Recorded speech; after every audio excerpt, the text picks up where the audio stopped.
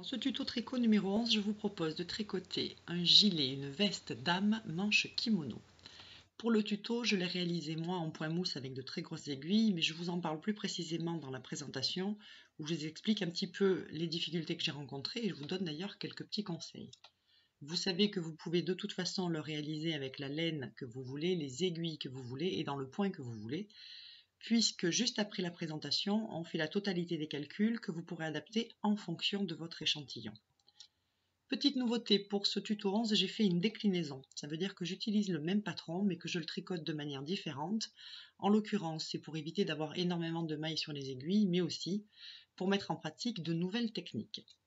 Mais rendons à César ce qui appartient à Jules, c'est un modèle de chez Fildar, que vous trouverez euh, sur le site de Prima, gilet sans manche kimono au point de riz. Alors je vous mets le lien dans la description sous la vidéo euh, que vous êtes en train de regarder. C'est un gilet sans manche qui est réalisable de la taille 34 à la taille 52. Il est initialement tricoté avec le fil Madrag de chez Filda, et des aiguilles numéro 5. Mais comme je vous l'ai déjà dit, on peut le tricoter dans le point qu'on veut. Alors voilà le patron d'origine, c'est celui-là qu'on va recalculer en fonction de votre échantillon. Et n'hésitez pas aussi à profiter de l'échantillon pour calculer, prévoir à l'avance la quantité de laine qu'il vous faudra. Je vous mets le lien vers la vidéo que j'ai consacrée à ce sujet. Voilà, et eh bien je vous souhaite euh, un bon tuto. Pour cet ouvrage-là, donc c'est celui que j'ai tricoté pour le tuto. Alors j'ai quand même beaucoup de choses à vous raconter. On va commencer par le début, par les fils. Cette fois-ci, j'ai utilisé des aiguilles numéro 15 et donc 6 fils en même temps. Deux fils euh, de chez Fil d'Art de, la, qualité Fil Light. C'est un fil qui se tricote initialement avec des aiguilles 6, qui est en acrylique, polyamide et 18% de laine. Alors c'est un fil que j'aime bien parce que les 50 grammes c'est 287 mètres, donc il y a quand même un excellent rendement. Euh, je ne me rappelle plus de son prix, mais c'est pas très élevé. Enfin, par rapport au rendement qu'on a avec ce fil-là. Et euh, j'en ai mis deux de couleur un petit peu grise. Ensuite, j'ai utilisé aussi deux fils euh, azurite, qualité azurite de chez Distrifil. C'est un fil qui se tricote initialement avec des aiguilles 3,5-4. Euh, Chaque pelote fait 40 mètres. Et bon, ça, vous connaissez, c'est un fil discount hein, qu'on trouve sur des sites marchands, mais aussi dans des, dans des magasins discount. 140 mètres par pelote et euh, si je me souviens bien c'est que de l'acrylique. Et enfin j'ai rajouté un fil un petit peu brumeux. Alors pourquoi j'ai mis autant de fils? Oui c'est parce que quand on veut tricoter avec des grosses aiguilles il faut mettre des fils un petit peu brumeux en même temps que des fils comme ça qui sont euh, relativement euh, mais enfin qui sont pas brumeux quoi. Et alors du coup j'ai rajouté et là j'ai fait une grosse erreur ce fil de chez Katia qui s'appelle Ingenua donc là aussi, c'est une pelote de 140 mètres, il y a un très bon rendement. C'est, euh, je ne sais pas en quoi c'est en plus, je viens de changer de lunettes, j'y vois rien. Mohair polyamide et laine. Et euh, là, j'ai fait une grosse erreur parce que ce, fil, c'est une catastrophe en fait. Cette veste, je pense qu'elle ne pourra pas être portée parce qu'il laisse tellement de peluche euh, sur la peau, sur le canapé, sur le t-shirt, sur les sous-vêtements que c'est pas possible. Voilà. En plus, c'est une pelote qui est beaucoup, enfin qui semble douce et le fil est beaucoup moins doux qu'il n'y paraît. Donc là, j'ai quand même fait une grossière erreur. Deuxième chose, quand j'ai tricoté ce, cet ouvrage-là, ce gilet, je l'ai fait initialement en taille 42-44 euh, et je l'ai tricoté au point mousse, donc avec des aiguilles très grosses. Et ce qui se passe, alors je ne l'ai même pas pris en photo parce qu'en fait, même sur le mannequin, ça ne va pas. Et puis j'ai personne qui peut l'enfiler puisque c'était pour quelqu'un qui n'est pas là. Ce qui se passe quand vous tricotez du point mousse, c'est que c'est un point qui est élastique autant en longueur qu'en largeur. Alors en largeur, les dimensions sont restées à peu près équivalentes à celles de l'échantillon, mais par contre en longueur, il s'étire tellement que du point de vue de la longueur, c'est plutôt un 50-52, et du point de vue de la largeur, on s'est plutôt retrouvé avec un bon 44, voire un 46. Donc mon conseil là-dessus, c'est si vous utilisez de très grosses aiguilles comme les, comme les miennes, 15 voire 20, voire 25, moi j'en ai qui font de la taille 25, peut-être que le point mousse n'est pas le point idéal, parce qu'il va y avoir tellement de poids la pesanteur va vraiment jouer euh, son rôle et du coup vous allez vous retrouver avec quelque chose qui est plutôt élampé. Donc un assez mauvais choix pour ça. Autre chose, je l'ai tricoté en trois parties. Donc c'est ce que je fais dans le tuto. Hein. Le, dos d'abord, ensuite un devant, puis le deuxième devant. Et pour faire l'assemblage, j'ai voulu cette fois-ci faire un assemblage à trois aiguilles. Donc vous n'êtes absolument pas obligé de faire cet assemblage, vous pourrez le faire au point arrière, il y a une vidéo en ligne, il n'y a pas de souci là-dessus. Enfin, et puis il y en a d'autres en dehors de la mienne. Mais si vous deviez le faire avec trois aiguilles aussi, ce que je vous conseille d'avoir, ce sont des aiguilles circulaires qui vous permettront de mettre en attente, sans trop de difficulté, toutes les mailles en attendant de pouvoir venir les tricoter à trois aiguilles. Si vous n'avez pas trois aiguilles de la même taille que celles que vous avez utilisées pour l'ouvrage, c'est pas grave. Moi, je les ai mis en attente. Donc, sur ces aiguilles euh, double, double pointe, c'est des aiguilles circulaires, mais surtout qui sont double pointe. C'est ça hein, qui est intéressant, c'est que vous pouvez les rentrer dans un sens et puis euh, les, tricoter dans l'autre. C'est vraiment bien pour ça. Et en plus, comme il y a un câble, c'est assez grand. Et ensuite, je suis venue les mettre sur des aiguilles numéro 12 parce que j'avais pas trois aiguilles numéro 15. Et ne vous inquiétez pas, on peut tout à fait rabattre avec des aiguilles donc de taille différente à partir du moment où celle avec laquelle on tricote est bien l'aiguille numéro 15. Mais si tout ça, ça vous inquiète, pas de souci, vous pourrez euh, le faire euh, avec une couture au point arrière assez classique euh, comme d'habitude. Je suis venue lui mettre par ailleurs des boutons pour essayer d'arranger un petit peu les choses parce qu'il avait tendance à vraiment s'élamper.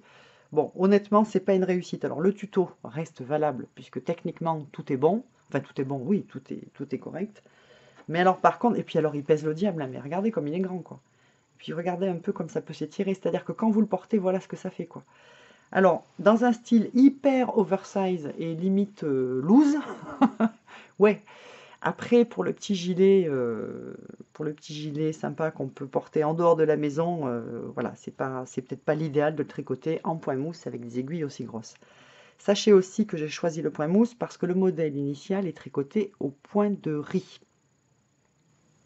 Et euh, j'ai mis en ligne par ailleurs, enfin je mets en ligne par ailleurs, une vidéo sur le point de riz avec euh, tout le façonnage qu'on peut faire avec ce point de riz, c'est-à-dire des augmentations, des diminutions, une encolure, de sorte que vous puissiez tricoter cette veste au point de riz. Sauf que là, on est dans un tuto débutant total, et que l'idéal quand on est dans du débutant total, c'est quand même de faire du point mousse. C'est pas l'idéal du point de vue de la quantité de laine à utiliser parce que c'est un point qui bouffe énormément de laine. Mais par contre, vous n'avez pas de souci. Je veux dire, tous les rangs sont toujours tricotés à l'endroit. Donc il n'y a pas de souci particulier euh, grâce au point mousse. Mais sachez que vous pouvez le tricoter comme prévu initialement au point de, point de riz. J'ai mis une vidéo en ligne. Est-ce que j'avais autre chose à vous dire? Oui, regardez la finition là sur l'épaule, c'est quand même pas mal. Hein. et sans couture. Et j'ai trouvé que c'était vraiment quelque chose de sympa. Oui, autre chose aussi, dans le tuto, on retourne les manches et on fait la couture euh, sur la partie qui est retournée dans l'autre sens pour pas qu'elle se voit. Je l'ai fait sur cet exemplaire-là, je vais vous en présenter un autre qui est euh, légèrement différent mais qui respecte le, tuto en général. Euh, voilà, donc ouais, une belle, une, belle, j'allais dire une belle connerie, mais non, j'ai pas le droit, une belle bêtise d'avoir fait ce gilet avec des aiguilles aussi grosses, ou alors il aurait fallu que je mette en fait deux fois plus de fils, c'est-à-dire 12 fils, pour que le point soit très serré et que du coup il n'ait pas tendance à s'élamper. Bon, je, devrais le savoir hein, parce que c'est pas la première fois que je tricote avec des grosses aiguilles, mais je sais pas, j'avais trouvé ça vachement sympa. Et puis il y a aussi le fait que tricoter euh, un ouvrage et tourner le, tuto, ça me prend énormément de temps. J'en fais généralement trois par tuto pour vous montrer trois déclinaisons possibles. Et du coup, là, je me suis dit, ouais, j'ai envie que ça aille vite, grosses aiguilles, gros fil, et puis voilà. Et puis, euh, et puis ça l'a pas fait. Du coup, j'ai tricoté ce même ouvrage avec euh, des aiguilles euh, de taille beaucoup plus petite et avec ce fil, donc euh, toujours azurite de chez Distrifil. C'est un super joli gris d'ailleurs. Et là, je l'ai tricoté avec des aiguilles 4 et 4,5. C'est-à-dire que l'ouvrage est tricoté avec des aiguilles 4, mais j'ai monté les mailles et j'ai rabattu, notamment au niveau des épaules, avec des aiguilles 4,5 parce que cette fois-ci, j'ai fait un assemblage au point arrière comme j'ai l'habitude de le faire. J'ai pas utilisé, euh, j'ai pas fait un assemblage avec trois aiguilles. Et il vaut mieux, dans ce cas-là, rabattre avec des aiguilles légèrement plus grosses, parce que comme ça, il n'y a pas de tension qui s'exerce au niveau de la couture, et c'est quand même bien plus joli. Alors, j'ai tricoté, je vous disais que j'avais fait ce pull, ce gilet, exactement de la même façon que dans le tuto. À ceci près que, en bas, j'ai mis une petite bande de point mousse. Ensuite, je l'ai tricoté normalement, le dos et puis les deux devant. Sauf que les manches, je les ai faites légèrement plus petites. Donc je vais vous montrer ici. Je les ai faites un petit peu plus courtes. Et je suis venue relever des mailles et j'ai fait une bande de point mousse que j'ai retournée ensuite. Voilà. Je ne voulais pas faire le point mousse dans la continuité du jersey parce que le point mousse a un nombre de rangs qui est très différent du jersey et je voulais pas que ça crée de, que ça soit élampé au bout. Donc j'ai préféré relever des mailles et ensuite tricoter 6 cm de point mousse que je suis venue retourner.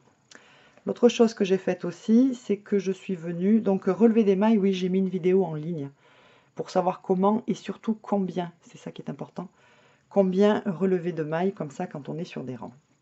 Sur le bord, je suis venue faire une petite e-corde très sympathique. Je trouve que ça fait une, assez chouette finition. L'autre chose aussi, c'est que par rapport au plan, au patron initial, j'ai pas fait d'encolure dans le dos. Voilà. Honnêtement, je ne la comprends pas trop, cette encolure. Alors, dans, le tuto, je vous la montre. Après, si vous la ferez, vous la ferez pas. Mais moi, j'ai tricoté tout droit. Par contre, je suis venue rabattre en utilisant une méthode que j'ai trouvée sur la, chaîne de Spirou et Bobine je suis venue rabattre en formant une e-corde. C'est une technique qui est super simple et qui est vraiment très sympa à faire.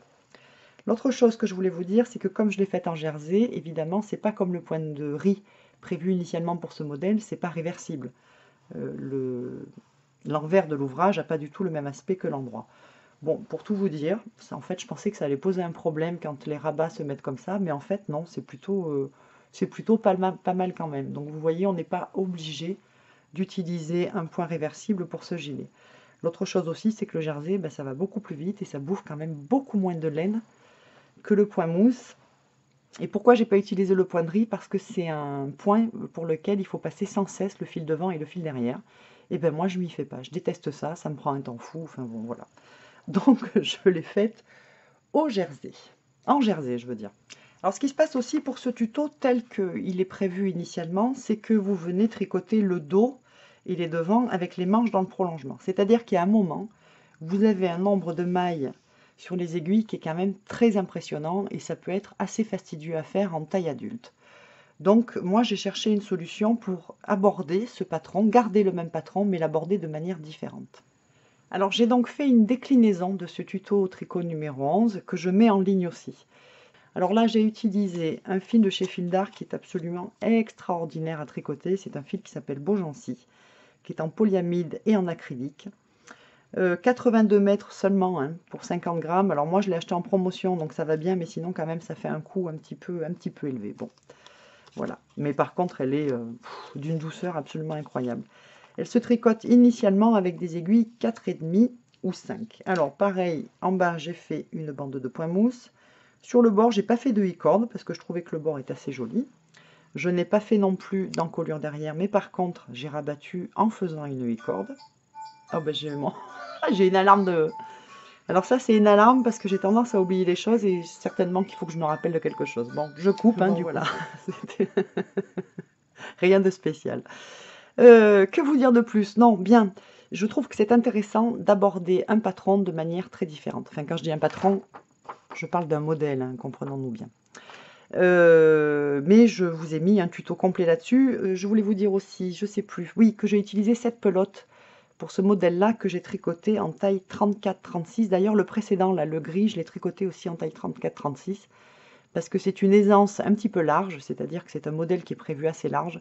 Donc le 34-36 va tout à fait à un 38, il n'y a aucun problème. Alors pour pousser le bouchon un petit peu plus loin, parce que cette idée de tricoter ce, ce gilet, euh, avec le même patron mais en l'abordant de manière différente, j'ai souhaité, enfin j'ai fait un autre modèle. Alors je l'ai fait avec un fil qui s'appelle fil looping de chez Fildar, qui se tricote avec des aiguilles ici, c'est ce que j'ai fait. Euh, ce sont des pelotes qui font 100 grammes et qui font 163 mètres. J'en ai utilisé 4,5, euh, pas tout à fait, ouais, 4,5 à peu près. Un fil super à tricoter, ça monte vite. Il est très agréable. Alors, je ne l'ai pas encore lavé, mais je pense qu'il n'y aura pas de problème si je suis les instructions du, fabricant. Vraiment un truc très simple. Pour ce gilet-là, peut-être que je vais essayer de faire une vidéo avec une déclinaison complète pour tout vous expliquer parce que c'est très très intéressant à faire. Mais par contre, techniquement, effectivement, il y a beaucoup de, choses à savoir et euh, voilà. Bon, ça peut être sympa, après il faut voir. Donc voilà, le fil looping, super. Je ne fais pas de la pub pour fil d'art, encore que, encore que. Euh, encore que je vais vous dire pourquoi. Ils m'ont rien demandé, ils me connaissent même pas de toute façon. Qui me connaît d'ailleurs? C'est simplement que j'utilise beaucoup les patrons de chez Fildar qui mettent gratuitement en ligne, utilisables à volonté. Et euh, voilà, je reste toujours dans l'esprit d'abord de rendre à César ce qui appartient à Jules, et ensuite je fais toujours mon possible pour tricoter au moins deux des trois exemplaires que je fais habituellement avec la, laine du fabricant qui a mis en ligne ce tuto gratuit, parce que après tout, euh, c'est du travail, c'est un partage gratuit, donc c'est euh, voilà, je trouve que c'est bien. Donc je veux, je voulais absolument utiliser de la laine de chez Fildar pour ce modèle Fildar. Et j'ai vraiment bien choisi parce que que ce soit Beaugency ou Looping, c'est des fils qui sont extra à tricoter. Alors, le principe de mes tutos, c'est bien sûr de pouvoir l'adapter à votre façon de tricoter, à la taille de vos aiguilles et à votre laine, évidemment en plusieurs tailles. Bon, pour ce qui est de plusieurs tailles, vous choisissez la taille qui vous convient sur le site où vous trouvez le patron. Pour ce qui est par contre d'adapter les calculs à vos aiguilles et à votre laine, le seul moyen, c'est de faire un échantillon. Donc là, moi, je vais faire un échantillon en point mousse puisque je tricote l'ouvrage au point mousse. Et vous faites un échantillon dans le point où vous souhaitez tricoter euh, ce gilet. Alors, il faut que le carré fasse au minimum 12 cm par 12 cm. Donc, vous voyez combien de mailles vous montez et combien de rangs vous tricotez. Vous pouvez vous fier à ce qui est écrit, par exemple, sur l'étiquette. Donc, moi, ce sont des aiguilles énormes avec, du coup, l'équivalent d'un gros fil, hein, puisque ce sont plusieurs fils ensemble. Donc j'aurai peu de mailles à monter. Là, je vais m'arrêter par là. Bon, moi, je fais toujours un échantillon un peu plus grand parce que c'est plus facile à filmer. Voilà. Alors, il y a une vidéo sur le montage des mailles, hein, si vous en aviez besoin. Et je vais tricoter autant de rangs que nécessaire pour dépasser les 12 cm. Après, personnellement, je rabats pas, je mets sur un, câble, un câble d'aiguille circulaire ou sur simplement un fil. Et je laisse reposer pour que le coupon prenne toute sa place et qu'on puisse compter facilement. Donc le point mousse, c'est toutes les mailles de tous les rangs à l'endroit. Donc à l'endroit, je vous le rappelle, on pique l'aiguille d'avant en arrière et le fil est derrière. Voilà. Ça, tiens, ben, j'ai pas piqué là où il fallait. Ça, c'est la maille endroit. Et je ferai ça sur tous les rangs, les allées et les retours. Sachant que le point mousse est un point réversible. Donc c'est pas toujours facile de se repérer pour savoir si on est sur l'endroit ou sur l'envers du travail. Alors je vais vous expliquer comment on fait. Donc ça c'est l'endroit du travail, les rangs impairs, que j'appelle aussi les allées. C'est toujours sur l'endroit du travail. Et les rangs retour, qui sont des rangs pairs, c'est ce qu'on appelle l'envers du travail. Donc là vous voyez j'attaque un pair, l'envers du travail, ce que j'appelle le retour. Et je tricote aussi toutes mes mailles, toutes à l'endroit. Donc vous faites votre coupon d'à peu près 12 cm par 12 cm. Après vous rabattez ou pas, c'est vous qui voyez. Vous le laissez reposer un petit peu, euh, un petit peu, euh, quelques heures, une demi-journée, une journée, hein, pour qu'il euh, prenne sa, ses dimensions définitives. Et c'est seulement après qu'on vient compter le nombre de mailles que l'on trouve pour 10 cm et le nombre de rangs qu'on trouve pour 10 cm. J'ai mis en ligne une vidéo hein, pour pouvoir faire et compter aisément un échantillon. Autre chose, vous êtes sur un rang impair quand vous avez le fil perdu qui est du même côté que le fil qui mène à la pelote. Si le fil perdu est par contre de ce côté-là, par rapport au fil qui mène à la pelote, c'est que vous êtes sur un rang pair. Voilà, mon échantillon est prêt. Alors, euh, en fait, c'est un énorme, c'est un énorme coupon, beaucoup plus gros que nécessaire, mais ça, c'est pour les besoins de la vidéo. Le rappel, voilà le point mousse. Ça, c'est une barre de point mousse qui est constituée de petites boucles en haut et de petites boucles en bas. Quand on compte le nombre de mailles pour 10 cm, on compte soit les boucles du haut, soit les boucles du bas, mais pas les deux. Je vais donc compter les boucles du haut. Je mets mon réglé ici et je compte le nombre de mailles pour arriver jusqu'à 10 cm. 1, 2, 3, 4, 5, 6. Et vous voyez, je ne peux pas faire 7 parce que ça s'arrête ici. Je vais faire 6,5. Alors quand on a un petit fil et des petites aiguilles, on arrondit à 6 ou à 7. Quand on a un gros fil et des grosses aiguilles, on est précis, et là j'arrondis à 6,5. Il me faut donc 6 mailles et demi de point mousse pour faire 10 cm de large. Donc une barre de point mousse est égale à 2 rangs. Donc je vais compter le nombre de barres que j'ai jusqu'à 10. Donc une barre c'est 2 rangs, ça fait 2, 4, 6, 8, 10, 12. Vous voyez, je m'arrête juste ici, donc c'est bon. Il me faut 12 rangs pour faire 10 cm au point mousse. Une fois n'est pas coutume, pour ce tuto, ce tuto tricot numéro 11, on va faire tous les calculs d'un coup. Alors je vous explique pourquoi, il y a deux raisons principales. La première, c'est que vous avez la possibilité de prévoir à l'avance la quantité de laine qui vous sera nécessaire pour tricoter cet ouvrage. Donc j'ai mis en ligne une vidéo pour ça, mais il vous faut deux choses. Il vous faut avoir fait votre échantillon et comptabiliser le nombre de mailles au mètre linéaire. Et la deuxième chose qu'il vous faut, c'est la totalité des calculs en fonction de votre échantillon et de la taille que vous avez choisie. Donc rien que pour ça, déjà, le mieux c'est de faire tous les calculs d'un coup. La deuxième raison, c'est que euh, parmi les triconautes, il y en a qui ne sont pas vraiment débutants.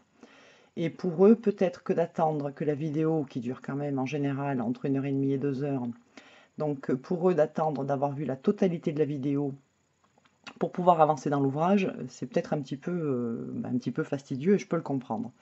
Donc pour ces triconautes-là, qui sont capables de savoir ce qu'ils ont à faire euh, juste en voyant le patron, mais qui ont plus de problèmes plutôt pour les calculs, je préférais euh, pour cette fois-ci, puis vous me direz dans les commentaires si vous trouvez ça plutôt mieux, je préférais donc pour cette fois-ci faire tous les calculs d'un coup. Donc comme d'habitude, je vais choisir, euh, je vais mettre en exergue la taille que j'ai choisie. Moi, c'est la taille 42-44, c'est donc la troisième taille. Donc à chaque fois, vous vérifiez bien la taille que vous voulez et puis vous mettez en exergue. Donc là, moi, ça doit être 49. J'ai une photocopie vraiment horrible. 22, 18 ici, 94, 57, 54, 29,5 et 35 pour tout le monde. Alors une fois de plus, ce patron est un petit peu complexe parce que sur un seul et même dessin, il y a toutes les dimensions, enfin pas tout à fait toutes les dimensions, il y a quand même déjà une partie des dimensions qu'il va falloir qu'on déduise. Et en plus, il y a le dos et un des devants. Alors pourquoi est-ce qu'il n'y a pas les deux devants sur le même dessin? Parce que ce demi-devant est plus grand que la moitié du dos, donc s'il mettait le deuxième, ça se superposerait et ça n'irait pas. Donc c'est un patron assez classique où on évite de tout mettre sur le même dessin, parce que sinon ça serait trop lourd. Mais du coup, ça complique un petit peu les choses euh, pour savoir quelles sont les dimensions qui nous intéressent. Euh, voilà, c'est un petit peu plus compliqué. Donc première chose, nous on veut commencer par faire les dimensions du dos, les calculs pour le dos. Donc il faut savoir quelle est la partie qui est concernée par nos calculs. Donc là, c'est le pourtour, ça va. Et ne pas oublier cette petite encolure ici. Deuxième chose, quelles sont les dimensions dont je vais avoir besoin pour faire mes calculs? Eh bien, pas toutes. Celle-ci, oui. Celle-ci aussi. 35 pour tout le monde aussi. Celle-ci aussi. Celle-là, très honnêtement, euh, c'est le total de ces deux-là, donc on s'en moque un peu. Et on a aussi, bien sûr, l'encolure. Donc vous voyez qu'on ne va pas utiliser cette dimension-là et ces dimensions-là. Alors première chose, je reporte les dimensions que j'ai. Celles qui sont à ma disposition. J'ai celle-ci, celle-ci, ici l'encolure,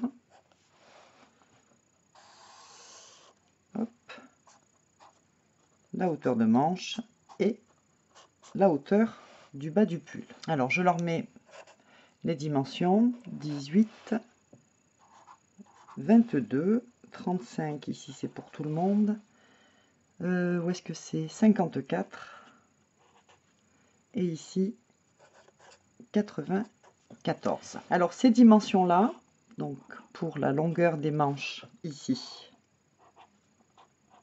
et la longueur des épaules, je les calculerai juste après, je les calculerai quand j'aurai mon nombre de mailles et mon nombre de rangs sur ces dimensions-là. Vous verrez, c'est quand même beaucoup plus simple de faire en centimètres, ce qui est obligatoire de faire, et ensuite de faire en mailles, et non pas en centimètres. Vous comprendrez pourquoi. Comme d'habitude, je divise toutes mes dimensions en centimètres par 10. Oui, il y a une dimension qu'on ne trouve pas sur le patron et que je vais vous donner, elle est pour tout le monde c'est la profondeur d'encolure. Ils euh, ils l'ont pas mise du tout, je l'ai déduit des explications en fait. Et c'est 2 cm pour tout le monde. Donc 2 divisé par 10, ça fait 0,2. Alors pour l'encolure du dos, on verra que l'encolure du devant n'a pas la même profondeur. Pour pouvoir personnaliser les calculs en fonction de l'échantillon que vous avez fait, vous allez noter ici votre propre échantillon. Moi le mien c'est 6,5 x 12. Ça signifie qu'il me fallait 6 mailles et demi pour faire 10 cm de large et tricoter 12 rangs pour faire 10 cm en hauteur. Du coup, on va pouvoir commencer les calculs. Combien de mailles il faut que je monte? Je vais prendre 5,4 et je vais le multiplier par le nombre de mailles pour 10 cm. 5,4 fois 6,5, ça me fait 35,1. Je reste sur 35 mailles. Alors la logique voudrait que je rajoute deux mailles de plus dans mes calculs parce que j'utilise de très grosses aiguilles et de très grosses laines. Mais il se trouve que je le tricote en 42-44 alors qu'en fait j'ai besoin d'un 38-40. Donc du coup il n'y a pas de souci au niveau des dimensions. Ensuite, combien de rangs je vais tricoter ici? Eh bien je prends mes 35 cm, donc 3,5 et je vais le multiplier par 12 rangs. Alors 3,5 fois 12. 42. Alors ici, vous arrondissez toujours un nombre de rangs pair. Tout le temps, quoi que vous trouviez, c'est un nombre de rangs. Pour pouvoir calculer la longueur de mes manches, il faut d'abord que je calcule euh, la totalité, la largeur pardon, de la totalité de l'ouvrage, manches comprises. Donc je fais 9,4 fois 6,5, 9,4 fois 6,5, je trouve 61,1. Donc là, on va appliquer une règle toute simple. Si ici vous avez un nombre impair de mailles, si vous avez arrondi un nombre impair, ici vous aurez un nombre impair. Donc si ici vous avez trouvé un nombre pair, ici vous arrondissez à un nombre pair. 61,1, donc ça tombe bien, moi ça sera 61. Pour la longueur des manches, vous voyez, je ne pars pas sur des centimètres, je vais partir sur des mailles. Voilà mon raisonnement. Si j'ai 35 mailles au départ et que arrivé ici, sur la largeur totale, j'en ai 61. J'ai donc augmenté de 61 moins 35. J'ai augmenté de 26 mailles en tout. Ces 26 mailles, je vais les diviser par 2. Ça signifie que j'ai rajouté 13 mailles d'un côté et 13 mailles de l'autre. On va calculer maintenant la largeur de l'encolure et on pourra déduire le nombre de mailles que feront les épaules. Alors, l'encolure pour moi, et je crois qu'il y a trois tailles où c'est le cas, hein, oui, B, C, D, c'est 18 cm. Donc 1,8 fois 6,5. Ça fait 11,7. Une règle encore pour tout le monde. Impair, impair, impair ici. Si vous avez pair, pair, vous aurez un nombre pair ici. C'est-à-dire qu'il faut que vous arrondissiez à un nombre pair. Donc moi, ça fait 11 mailles. Si j'ai 61 mailles en tout, et qu'il y en a 11 qui seront rabattues pour l'encolure, je peux déduire la largeur de mes épaules. Je fais 61 moins 11, je trouve 50 que je divise par 2 pour mettre des mailles d'un côté et de l'autre. 50 divisé par 2, ben, ça fait 25. Ok. Et 25 ici. Pour la hauteur de, des manches, donc je fais 2,2 fois 12. Ça fait 26,4, donc c'est toujours un nombre pair, je vais arrondir à 26. Arrivé à ce stade, vous pouvez déjà calculer la quantité de laine nécessaire pour le dos. Alors pas pour les devants, puisque je vous disais que les devants étaient plus larges que la moitié du dos, donc pas de possibilité, mais au moins pour le dos. Si on regarde les choses le plus simplement du monde, voilà ce qu'on a. Alors je compte pas l'encolure, hein, parce que c'est pas la peine de se prendre la tête, mais en gros, j'ai un rectangle qui fait 61 mailles sur 26 rangs. Et en bas, j'ai quelque chose qui pourrait ressembler à un carré qui fait 35 mailles sur 42 rangs de haut. Donc déjà, vous avez la possibilité de calculer la quantité de laine pour le dos. On va maintenant rentrer dans les détails et voir un petit peu ce qui se passe sur toute cette partie-là. Donc pour moi, la hauteur totale, c'est 26 rangs. Mais il y a des rangs qui vont être utilisés pour faire les emmanchures et des rangs qui vont être utilisés pour faire l'encolure. Donc déjà, combien de rangs pour l'encolure? Alors, 0,2 fois 12, ça me fait 2,4. Alors moi, j'ai une laine tellement grosse que évidemment, c'est un peu c'est un peu faussé mon truc parce que faire une encolure pour deux rangs, tout à fait honnêtement, ça sert strictement à rien. Donc je vais la faire plus profondément que prévu, mais c'est parce que j'utilise des grosses aiguilles et, de une laine épaisse. Je vais mettre 4 rangs, parce que faire une encolure sur deux rangs, franchement, ça sert à rien. Enfin, voilà, ça va faire même pas un petit zigouigoui, là, donc euh, autant vous dire que dalle. Ensuite, je sais, donc pour l'encolure, je vais utiliser 4 rangs. Pour l'emmanchure, ça c'est toujours comme ça, ça va se faire sur deux rangs. Sur l'allée, je vais monter, je vais rajouter 13 mailles en début de rang, je vais finir mon rang. Et sur le retour, je vais rajouter 13 mailles en début de rang et je vais finir mon rang. Donc il y a deux rangs qui seront utilisés pour ça. J'ai 26 rangs en tout. J'en utilise déjà 4 pour l'encolure, plus 2 pour la manchure. Donc 26 moins 4 moins 2. Il me restera 20 rangs de jersey à tricoter juste après avoir fait la manchure et juste avant d'attaquer l'encolure. Je crois qu'on a à peu près tout, donc euh, on va pouvoir passer au calcul du devant, parce qu'il se trouve que le devant, il y a des dimensions qui sont nouvelles, mais il y en a d'autres qu'on va venir directement récupérer ici, pour ne pas avoir à recalculer, et surtout, parce qu'il y a des choses qui doivent être exactement identiques au devant. Les épaules seront exactement, euh, auront le même nombre de mailles, la hauteur d'emmanchure sera exactement la même, évidemment la hauteur ici sera la même, l'encolure, non, ça sera différent, il faudra qu'on le recalcule. Et la largeur en bas et la largeur en haut sera différente aussi. Mais enfin, il y a quand même quelques petites choses qu'on peut récupérer déjà sur ce schéma-là. Alors, sur les patrons, généralement, on ne vous dessine qu'un des devants et puis on vous dit vous tricotez le deuxième en vis-à-vis, -vis, ce qui est une vraie galère quand on ne maîtrise pas ce genre de notion. Donc moi, ce que je vous propose, c'est de réellement venir dessiner les deux demi-devants. Un premier alors l'échelle est peut-être pas tout à fait respectée, hein, comme d'habitude avec moi. Le premier ici, et l'autre qui est donc en vis-à-vis. Wow En fait, il est comme en miroir, si vous voulez. Voilà, ouais, c'est un peu, un peu nul hein, comme dessin. Voilà. Bon, on dessine les deux, comme ça on n'y voit plus qu'il Il y en a un qu'on va appeler le numéro 1 et l'autre qu'on va appeler le numéro 2. On tricotera le numéro 1 et on tricotera aussi le numéro 2 pour qu'il n'y ait aucune confusion possible dans ces histoires de faire le deuxième en sens inverse ou en vis-à-vis, euh, ce qui en général a tendance plutôt à nous perdre. Maintenant, ce qu'on va faire, c'est qu'on va mettre d'office toutes les dimensions qu'on a déjà grâce au dos.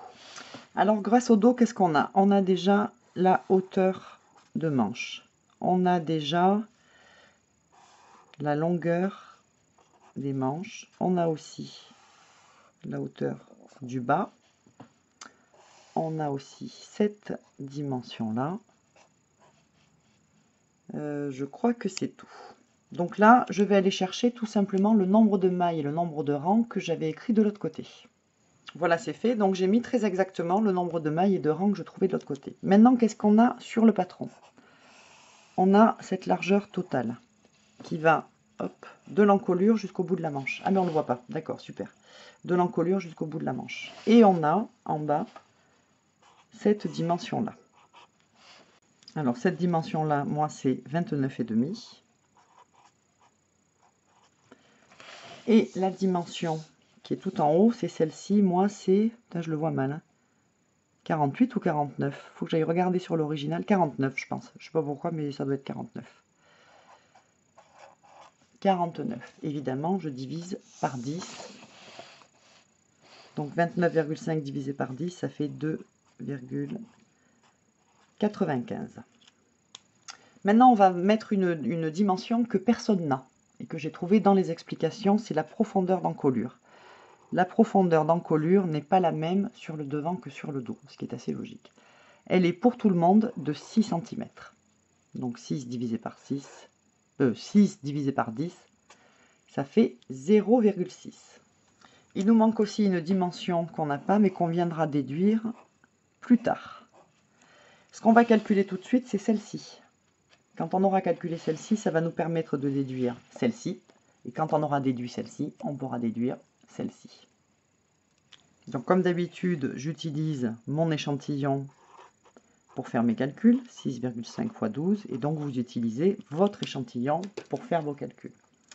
Combien de mailles je dois monter? Eh bien 2,95 x 6,5. Moi, je trouve 19,17. Alors, je devrais arrondir à 19. Je vais vous expliquer. En fait, je l'ai déjà fait, le devant. je ne sais pas pourquoi j'avais arrondi à 20. Donc, pour le tuto, pour m'arranger, j'arrondis à 20. Mais honnêtement, j'aurais dû mettre 19. Mais bon, j'ai pas envie de recommencer le, le devant que j'ai déjà fait. Voilà, c'est tout simple. Monter 20 mailles, tricoter 42 rangs, rajouter 13 mailles. Si j'en ai monté 20 et que j'en ai rajouté 13, en tout, j'en ai 20 plus 13, 33. Ici donc, je peux mettre 33 mailles, c'est-à-dire d'ici à ici. Donc si j'ai 33 mailles ici et que mon épaule fait 25 mailles, combien fait mon encolure? Eh bien 33 moins 25, mon encolure fait 8 mailles.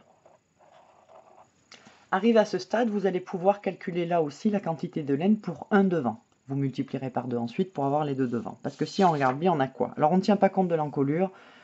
Bon, euh, pour tout vous dire, avec des aiguilles aussi grosses et une laine aussi grosse que la mienne, c'est vrai que je pourrais venir, venir déduire euh, cette petite encolure. Mais d'une manière générale, c'est pas la peine. Donc on a un grand rectangle ici,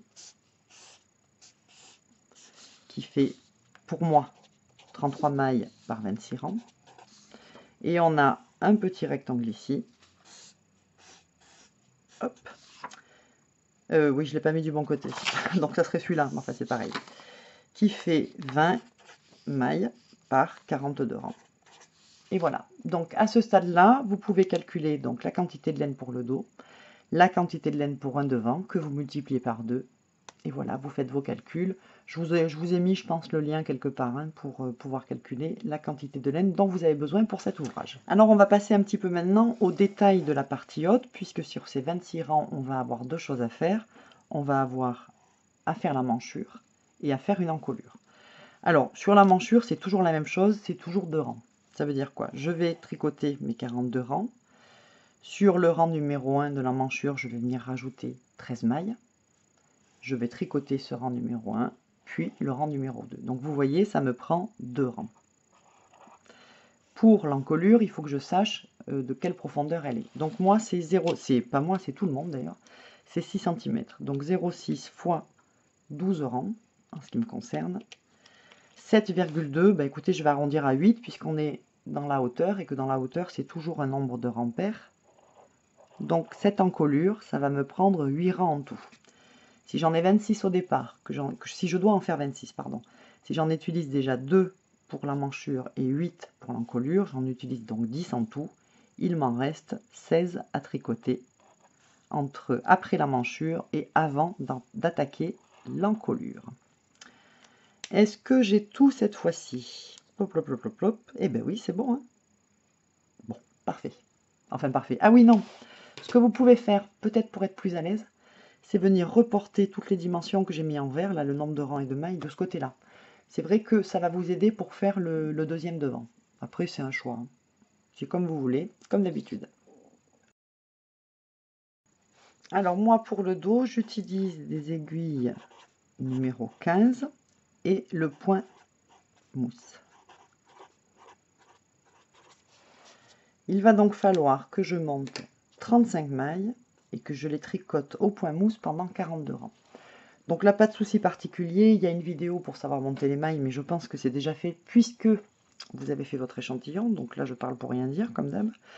La question, en fait, c'est de savoir quelle quantité de fil perdu on va garder.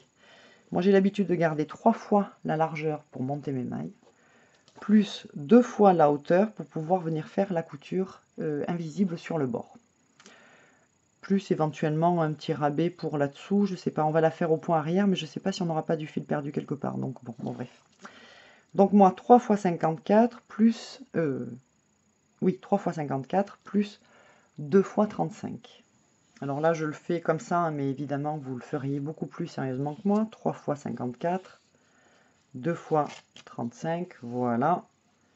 Je fais le nœud et on n'oublie pas de le comptabiliser puisque euh, ça fait partie du nombre de mailles que je monte. Alors, là, je ne vais pas pouvoir mettre un marqueur toutes les 10 mailles, comme j'ai l'habitude de le faire pour me repérer, parce que j'ai pas de marqueur assez grand pour des aiguilles comme ça. Mais je vous conseille vivement de glisser ce petit marqueur toutes les 10 mailles. De cette façon, vous n'avez pas à recompter depuis le début.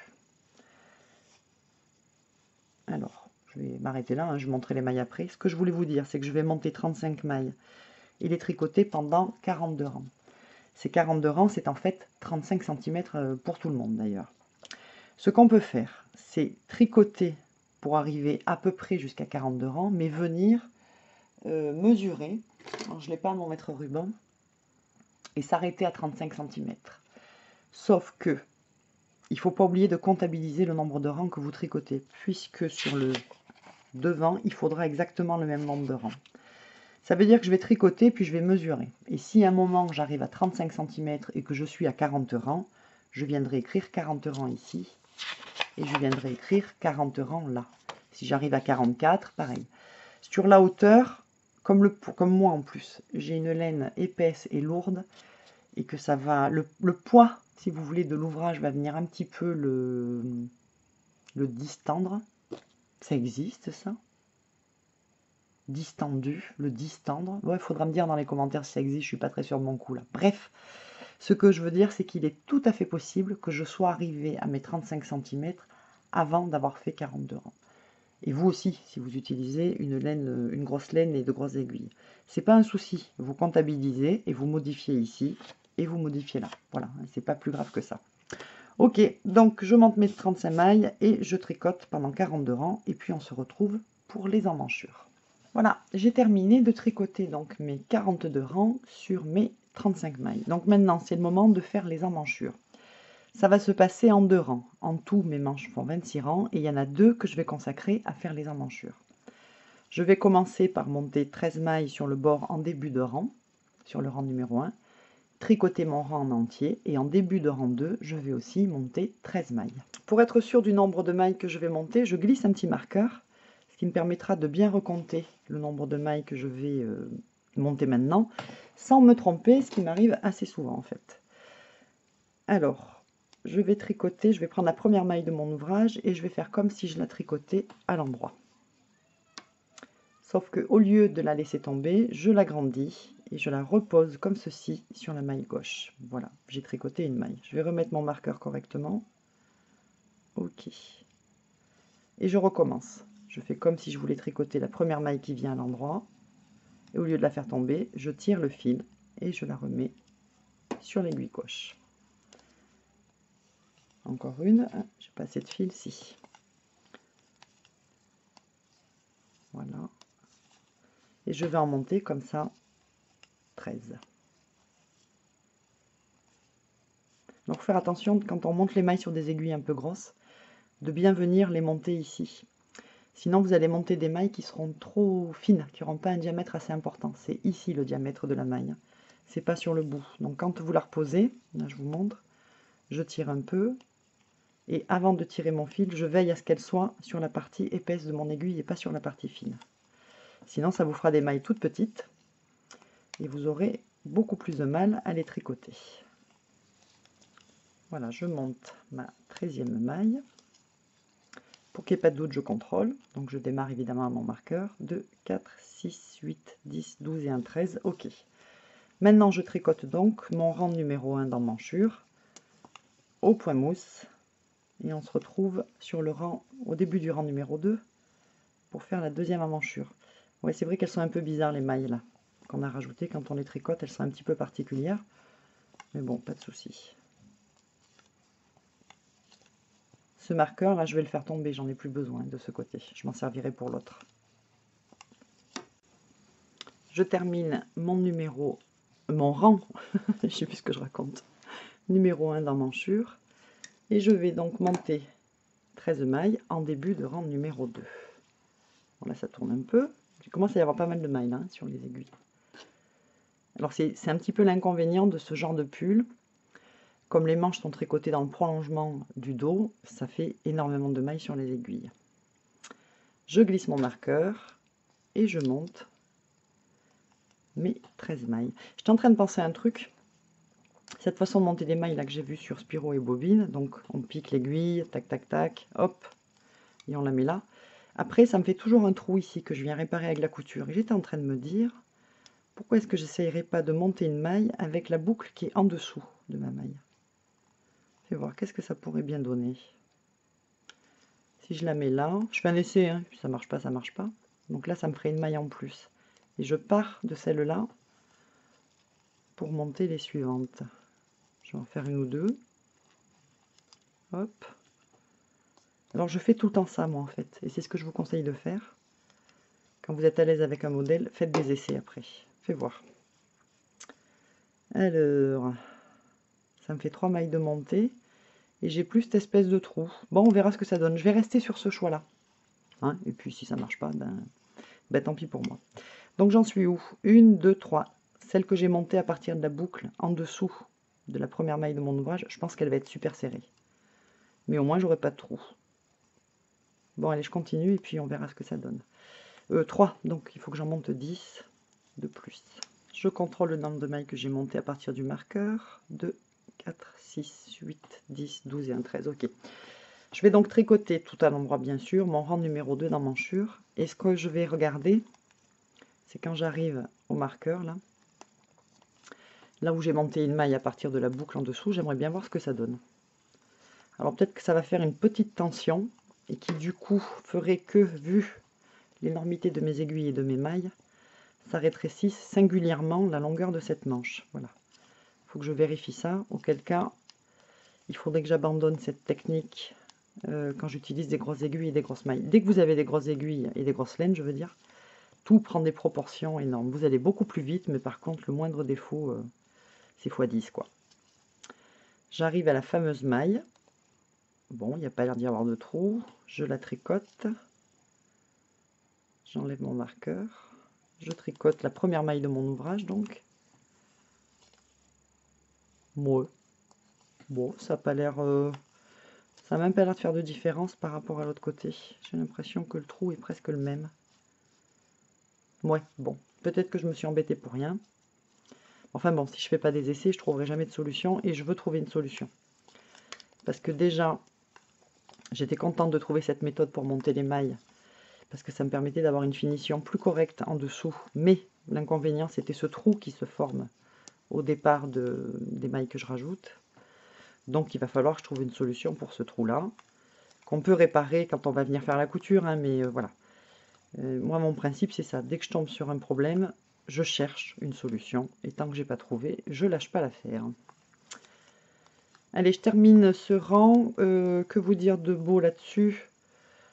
Non, là de ce côté, ça y est, elles sont déjà bien formées, mes mailles. Donc elles seront faciles à tricoter et normales. Elles n'auront pas un aspect particulier. Donc rien de plus. Je termine le rang 2 dans manchure. Et on va pouvoir, on va pouvoir regarder ce que ça donne. Enfin, plus ou moins, parce que vu que mes aiguilles sont pleines de mailles, ça va être un petit peu difficile. Alors fais voir de ce côté, ça c'est ce que je viens de monter. Ok, on voit le trou un petit peu, et de ce côté, euh, de ce côté, euh, ouais, il n'est pas plus important. Bon, ben c'était pas une, c'était pas une vraie solution. Alors maintenant, on va regarder ce qu'il nous reste à faire. Voilà, donc ça y est, j'ai fait mes deux rangs d'emmanchure. 26 moins 2, 24, mais comme je vais en utiliser 4 pour l'encolure, il m'en reste 20. Donc je vais tricoter 20 rangs au point mousse, et puis on se retrouve pour former donc l'encolure ici. Ah ben non, je viens de les finir. Hop, oui, je parle toute seule. Alors ça y est, j'ai fait mes 20 rangs au point mousse. Et maintenant, on va donc attaquer l'encolure. J'ai 61 mailles en tout sur mon aiguille. Chacune des épaules fait 25 mailles et l'encolure elle-même en fait 11. Ok Je vais d'abord tricoter ce côté-là, ensuite rabattre pour l'encolure et venir dans un deuxième temps tricoter ce côté-là. Alors, pour euh, moi, pour me repérer, j'ai l'habitude de mettre comme d'habitude des petits marqueurs. Je vais mettre un premier marqueur après les 25 premières mailles. Donc, je compte 25 mailles, 2, 4. Alors il faut que je fasse gaffe parce que ça va tomber, ce truc. Bref, 2, 4, 6, 8, 10, 12, 14, 16, 18, 20, 22, 24 et un 25. Je glisse un marqueur ici. Et je fais un petit nœud. Ben, je vais vous épargner le petit nœud parce que sinon on est là demain. Hein. Et même chose, 25 mailles, mais cette fois-ci en partant de la fin. Et je contrôle que j'ai bien 11 mailles entre mes deux marqueurs. Alors les marqueurs sont libres, hein. ils ne sont pas dans une maille, ils sont autour de l'aiguille. 2, 4, 6, 8, 10 et un 11. Et ensuite, j'ai l'autre marqueur. Donc on est là, du coup. Je vais tricoter 4 rangs sur les 25 premières mailles, c'est-à-dire que je vais considérer ce marqueur comme la fin de mon rang. Alors ce qui va se passer, moi, c'est que j'arrive à la fin de mon fil. Et comme je suis sur du point mousse, euh, je vais faire un raccord en tissant le fil derrière. Euh, le, seul, euh, le, seul, truc qu'il faut vérifier quand on fait ça, c'est que je suis au point mousse, donc mon fil est toujours derrière. Il faut absolument que le raccord se fasse sur l'envers du travail. Rappelez-vous, c'est un ouvrage au point mousse, donc par définition, il est réversible, sauf que j'ai déjà fait des changements de maille qui sont ici, puis je ne sais plus où, hein, ici par exemple. Donc moi, il faut absolument, je le sais, que mon raccord entre deux fils se fasse sur l'envers du travail. D'ailleurs, je suis bien sur l'endroit. J'ai bien le fil perdu qui est du même côté que le fil qui mène à la pelote. Donc ce que je vais faire, c'est que je vais tricoter quelques mailles et je vais faire le raccord euh, vers le milieu ici. Voilà, j'ai tricoté quelques mailles. Pour tricoter la suivante, je vais mettre mon fil qui est presque fini. Et je vais mettre aussi mon nouveau fil, en laissant un petit peu de fil perdu pour pouvoir euh, le tisser derrière. Je tiens tout ça et je tricote. Donc si on regarde bien, ici, j'ai une maille qui est formée en réalité de deux mailles. Donc il faudra que je fasse gaffe au retour de ne pas tricoter deux mailles, mais bien une seule. Ensuite, je mets le fil qui mène à la pelote ici. Je pique euh, ma maille et je fais passer les deux fils perdus par-dessus et je tricote. Maille suivante, pareil. Je fais passer les fils perdus par-dessus et je tricote. Je vais faire ça sur, ben là en l'occurrence, je ne sais pas, 6 mailles à peu près. De sorte que les fils perdus soient tissés sur l'arrière et ne se voient pas. Alors je peux le faire en l'occurrence parce que mon fil est très brumeux et qu'en plus je suis au point mousse donc vraiment sur l'endroit du travail vous verrez ça se voit pas du tout donc là je le fais encore une ou deux mailles c'est assez lourd hein. oh, oh. c'est du sport de tricoter voilà de toute façon j'arrive à la fin donc je pourrais pas le tisser beaucoup plus voilà Ensuite, je garde que le fil qui mène à ma pelote et je continue à tricoter au point mousse. Donc, je vous le disais, jusqu'au premier marqueur que je rencontre, que je considère comme être la fin du rang. Voilà. Arrivé à mon marqueur, je tricote la dernière maille. Je peux laisser le marqueur en place, ce c'est pas un souci. Je tourne mon ouvrage. Hop là. Et je vais... Putain, c'est tout emmêlé. J'ai dit un gros mot là? Non, non, non. Je vais laisser toutes ces mailles en attente sur le côté et tricoter mon rang numéro 2 sur les mailles que je viens déjà tricoter. Donc fil derrière, hop, le marqueur m'embête, voilà.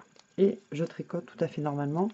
Je vais quand même vous montrer comment ça se passe quand j'arrive à l'endroit où j'ai fait mon raccord de fil pour qu'on voit un peu comment on fait. Ah zut donc là, j'y arrive. Voilà. On voit bien, j'ai une maille qui est beaucoup plus épaisse, donc en fait, il y en a deux mailles. Et j'oublie pas de tricoter qu'une seule maille. Je prends bien les deux ensemble. Je finis mon rang et puis on va regarder ce que ça donne. Donc là, je termine le rang.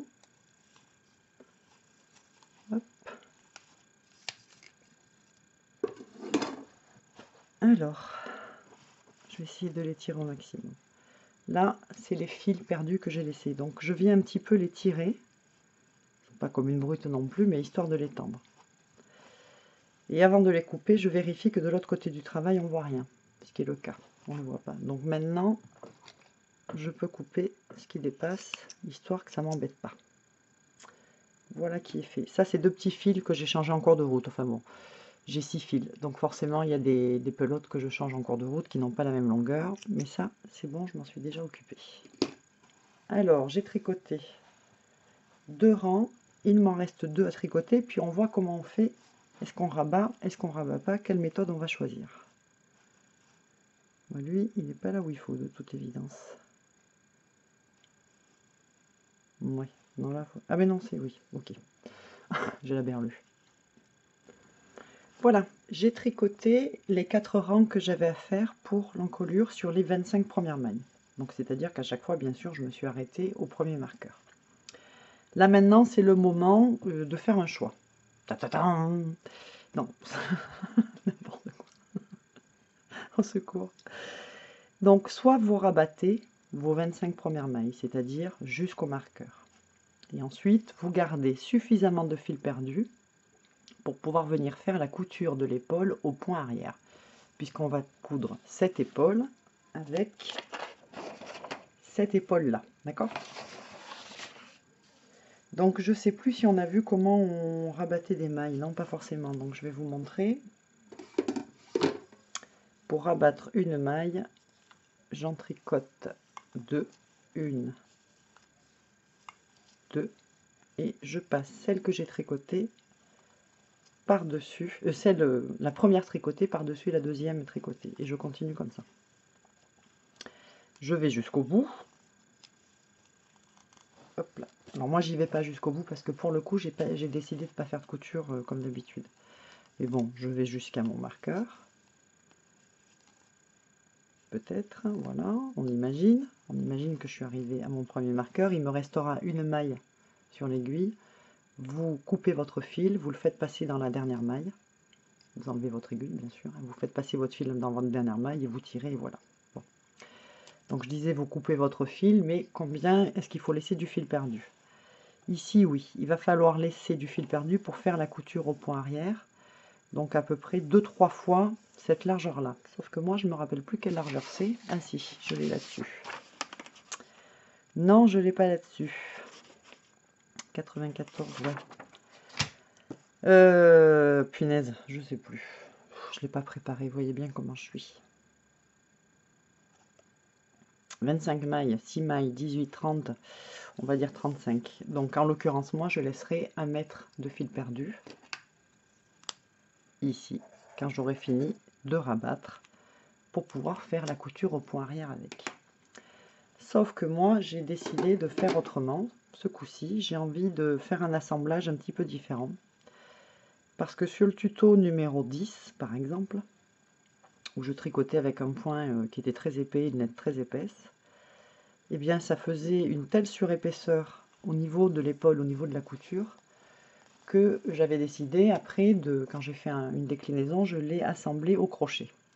Et là je me suis dit tiens je vais encore chercher une autre technique et je vais l'assembler, enfin je vais essayer de l'assembler au grafting, c'est-à-dire avec trois aiguilles. Pour ça, il, faut, il ne faut pas que je rabatte mes mailles, il faut que je les laisse en attente. Donc moi je les mets en attente sur des aiguilles double pointe, mais en l'occurrence ce sont des aiguilles circulaires. C'est l'équivalent d'aiguilles double pointe, hein, des aiguilles circulaires. Voilà. Il y a un câble. Je ne sais pas s'il me reste un petit bouchon. Si. Donc je mets un petit bouchon et je vais mettre toutes mes, toutes mes mailles, enfin les 25 premières, en attente, comme ceci. Alors sur une aiguille double pointe, parce que ça sera plus facile pour moi pour les remettre euh, prêtes à être tricotées.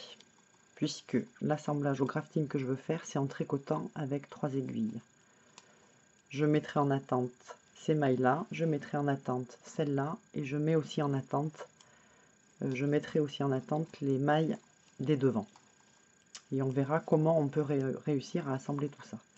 Donc là, voilà, soit vous tentez le truc avec moi, alors je vous garantis rien, enfin je vous mettrai un petit mot quand même, je hein, je suis pas fada, hein. au moment du montage, euh, j'aurai fini de faire l'ouvrage, donc je saurai si ça a fonctionné ou pas, et je vous mettrai un petit mot pour vous dire si ça a fonctionné, et si tel est le cas, vous choisissez de le faire ou vous choisissez de rabattre et de coudre au point arrière. J'ai mis une vidéo, c'est dans la playlist Apprendre à tricoter les techniques tricot.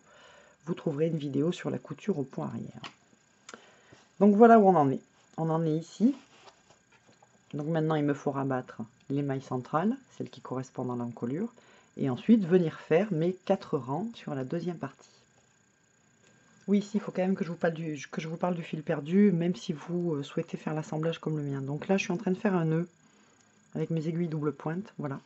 Parce que les mailles n'arrêtent pas de tomber, ça commence à me... si vous décidez de faire un assemblage à trois, à trois aiguilles comme moi, il va falloir quand même laisser pas mal de fil, puisqu'on va tricoter et rabattre les mailles qui restent ici avec celles du devant. Donc, euh, ouais, moi je vais laisser facilement 2 euh, mètres. Hein. Voilà, je vais laisser 2 mètres de fil perdu si toutefois je m'y retrouve. Et puis je vais couper le fil, pourquoi? Parce que pour venir abattre ici, j'ai besoin de mon fil. Donc, hop, hop, hop, voilà. Ma paire de ciseaux. Si, je vais la trouver. Hop. Tac. Ça, je vais l'enrouler parce que ça a tendance à venir gêner.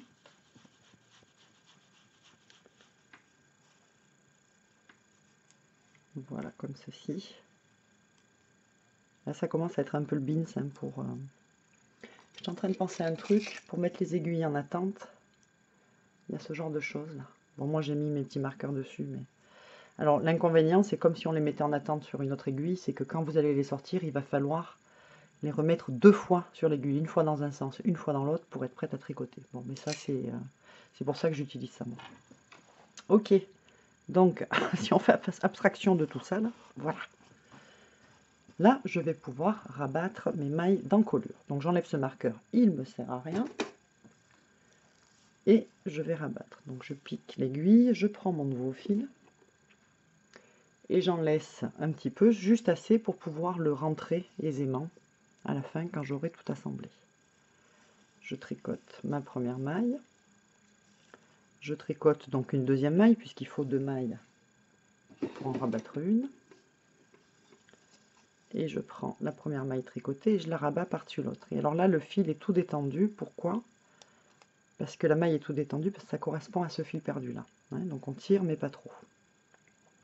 Parfois, moi, je vais vous montrer, je vais le faire si je peux là, parce que, oups là, parfois je fais un nœud entre ce fil, entre l'ancien fil, le fil perdu, et le fil qui mène à la pelote, histoire que ça se détende pas trop.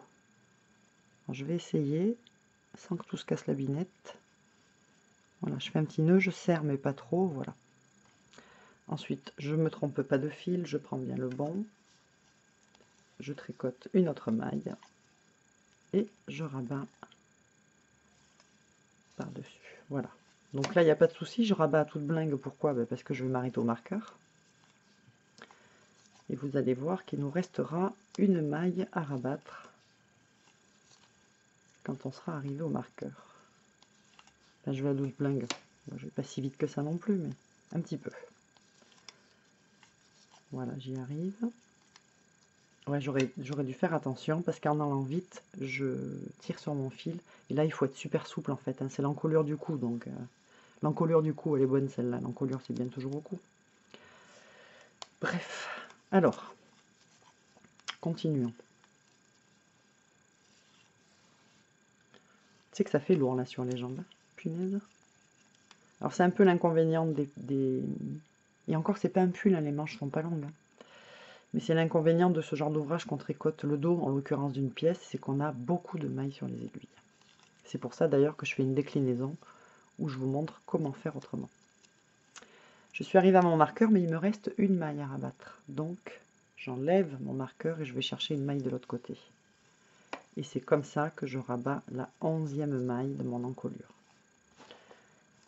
Donc j'ai déjà une maille de ce côté, et il m'en reste donc forcément 24 de l'autre. Et là, je vais tricoter maintenant mes 4 rangs, avant d'arriver à la fin, comme j'ai fait pour la première partie de l'ouvrage. Donc euh, pour vous montrer, hop, tac, c'est ces 4 rangs-là que je vais faire. Pas facile, hein Voilà, 4. Voilà.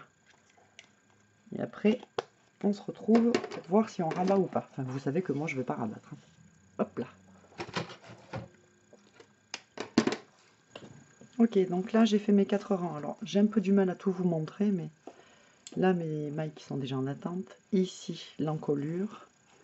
Et là, la deuxième partie. Donc, la même punition. Soit vous rabattez. Je ne vais pas m'en sortir, moi, exemple. si ça tombe. Hop là, voilà soit vous rabattez jusqu'au bout et vous laissez du fil perdu. Alors attends, si je rabats, mon fil sera de ce côté, donc ici, et vous laissez du fil perdu pour la couture de l'épaule au point arrière. Soit vous ne rabattez pas et vous voulez assembler à trois aiguilles, à trois aiguilles comme ça. il est coincé mon fil. Voilà. Et vous les mettez donc en attente sur une aiguille, si possible circulaire, ça sera plus simple vous laissez ici 2 mètres de fil pour pouvoir... Euh, enfin, moi je dis 2 mètres de fil, c'est pour moi, mais euh, à peu près euh, bien 3-4 fois la largeur, là. Enfin, 4 fois même facile. La largeur de, de l'épaule. Donc en fil perdu, pour pouvoir... Tu vois, 3-4 fois, ça fait pas 2 mètres, ça fait 1 mètre, mais moi franchement j'ai pas confiance, donc voilà. Tu vois, je laisse 1 mètre 50. pour pouvoir l'utiliser pour effectivement faire l'assemblage avec les trois aiguilles. Ben, ça tombe bien, j'arrivais à la fin d'une des pelotes, donc c'est parfait. Donc là, je mets en attente et on passe au devant.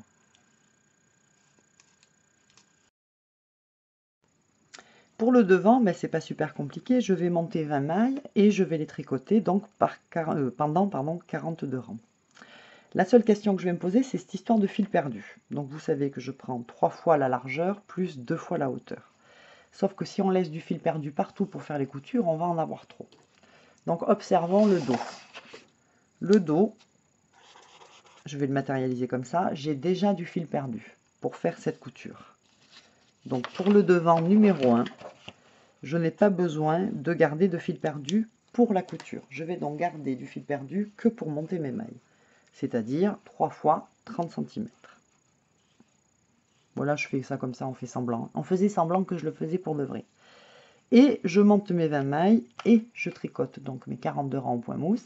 Et puis on se retrouve ici pour faire les emmanchures. Enfin pour faire l'emmanchure, puisqu'on n'en a qu'une à faire pour le devant numéro 1. Voilà, donc j'ai tricoté mes 42 rangs. D'ailleurs, il faut que je note les deux derniers. Et donc maintenant, on va passer à l'emmanchure. Je vais donc augmenter en début de rang. Donc je me mets comme ça et je regarde de quel côté est la manche. Elle est ici. Elle est donc en début de rang impair sur le rang numéro 1. Je vais augmenter de 13 mailles. Et ensuite, je vais tricoter ce rang numéro 1. Et enfin, je vais tricoter le rang numéro 2.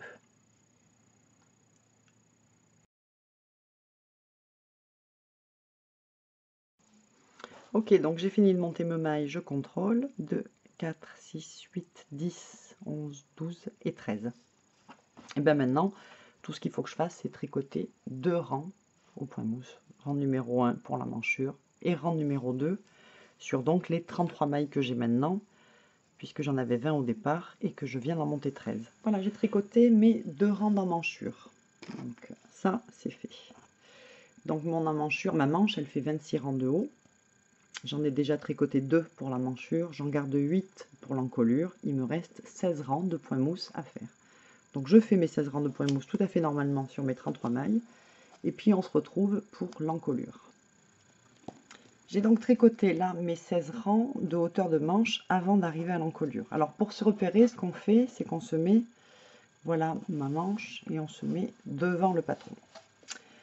Si on regarde les choses, les mailles qui vont être rabattues pour former l'encolure se situent de ce côté-là de l'aiguille, c'est-à-dire pas en début de rang, mais en fin de rang. Or, il se trouve qu'on ne peut pas rabattre un groupe de mailles au bord d'un rang en fin de rang. Ça veut dire quoi? Ça veut dire que je vais être obligé de le faire en deux rangs. Premier rang, je vais tout tricoter, et sur le deuxième rang, je viendrai rabattre les 8 mailles. Donc c'est les 8 mailles qu'on avait calculées ici, je les note là. Je viendrai rabattre 8 mailles. Alors, première chose, j'ai 8 rangs à faire en tout. Il y en a deux qui seront pris pour faire l'encolure elle-même. Et il restera 6 rangs à tricoter avant euh, donc soit de rabattre, soit de garder les mailles pour euh, un, assemblage, un assemblage en crafting. Donc moi, ce que j'ai l'habitude de faire, c'est quand je suis devant mon patron comme ça, pour être sûr de bien le repérer, les 8 mailles qui vont être rabattues sont de ce côté, et eh bien je viens placer un petit marqueur, 1, 2, 3, 4, 5, 6, 7 et 8, entre la huitième et la neuvième maille, et la neuvième maille en partant de la fin. Voilà le petit marqueur que je garderai sur le premier rang, puisqu'il ne va pas m'être utile sur le premier rang, il me sera utile sur le début du deuxième rang. Alors, est-ce que je vais y arriver? Oui. Donc, deux rangs pour faire cette encolure. Rang numéro 1, je tricote toutes mes mailles à l'endroit. Quand j'arrive au marqueur que je viens de placer, et eh bien tout simplement, je le fais suivre. Voilà, je le laisse en place pour avoir toujours mes 8 mailles de marqué. Les 8 mailles que je dois rabattre. Et je termine mon rang numéro 1. Voilà. J'attaque. Hop. commence à prendre beaucoup de place là. J'attaque mon rang numéro 2 et c'est là que je vais rabattre mes 8 mailles. Donc on sait que pour rabattre une maille, il faut d'abord en tricoter 2. Puis, je prends la première tricotée et je la rabats par-dessus la dernière tricotée. Voilà. Alors, on reste super souple parce que si on serre trop, ça va venir exercer une tension sur cette partie de l'encolure. Euh, et ça se verra en fait. On verra que c'est trop serré, ça va venir... Euh, ça fera un aspect esthétique qui sera pas très sympa. Et je continue à rabattre. Et comme il me faut toujours deux mailles pour en rabattre une, vous allez voir que pour la dernière maille à rabattre, la huitième, c'est bientôt, c'est là. Il me reste encore cette maille à rabattre, c'est la huitième. J'ai besoin d'aller chercher une maille de l'autre côté du marqueur, c'est pas grave. Le marqueur, j'en ai plus besoin. Voilà, maintenant je sais que j'ai bien rabattu mes 8 mailles. Et je termine mon rang jusqu'au bout. En tricotant normalement mes mailles à l'endroit. Et je termine mon deuxième rang d'encolure. Et voilà ce que ça donne. Hop, je vais en poser un peu. Ok. Donc là, et punaise, viens par là, toi. Là, c'est ma manche. Là, c'est ce que je vais continuer à tricoter. Et ici, vous voyez, c'est l'encolure. Et comme j'ai pas trop serré, ça vient pas trop se, tirer là. Voilà, ça reste souple. Ça va sûrement se rabattre un petit peu, mais comme c'est un point euh, réversible, du coup, c'est pas un souci. Voilà l'encolure de devant qui est faite. Donc, on va regarder maintenant ce qu'il nous reste à faire. Viens par là, toi. J'ai fait mes deux rangs d'encolure. Il me reste donc 6 rangs à tricoter sur les mailles qui me restent. Donc 33 euh, moins 8, 25. Je dois avoir 25 mailles ici. Je tricote ces 25 mailles pendant 6 rangs. Voilà, j'ai fait mes 6 rangs euh, d'encolure. Alors, ce que je voulais vous montrer, attends, c'est pas sur ce dessin-là, évidemment, je m'en mêle les pinceaux. Ok. C'est qu'on se retrouve comme pour le dos avec le choix suivant. Soit vous rabattez toutes vos mailles, et vous ferez une couture au point arrière des épaules du devant avec les épaules du dos. Soit vous souhaitez tenter l'aventure avec moi, j'espère que ça va fonctionner. Et puis vous mettez donc ces mailles en attente, euh, soit sur une aiguille, enfin soit vous avez, je vais recommencer, c'est pas très clair ce que je raconte. Soit vous les mettez en attente sur une aiguille circulaire, enfin avec un câble. Soit vous les laissez sur euh, l'aiguille d'origine parce que vous en avez suffisamment pour continuer à tricoter le reste. Moi, je n'ai qu'une paire d'aiguilles 15, donc il faut que je la libère, donc du coup, pas le choix. La seule chose à laquelle il va falloir penser, c'est le fil perdu. Imaginons que vous rabattez toutes vos mailles, votre fil perdu va être de ce côté. Est-ce que vous en gardez pour la couture? Eh bien non. Pourquoi? Parce que pour le dos, vous en avez gardé. Alors, ceux qui sont un petit peu attentifs s'aperçoivent que là, il n'y a pas le petit zigouigoui rouge que vous avez vu quand je vous ai montré ça sur le dos. Pourquoi? Et Parce qu'en fait, je filme simultanément le dos et le devant en même temps. Pour essayer d'optimiser mon temps, je, tricote le dos et le devant en même temps, donc je ne vous raconte pas. Voilà le dos là que je suis en train de faire, je l'ai mis en attente sur des aiguilles, je vais le reprendre dès que j'ai fini cette séquence pour filmer le dos, enfin bon bref.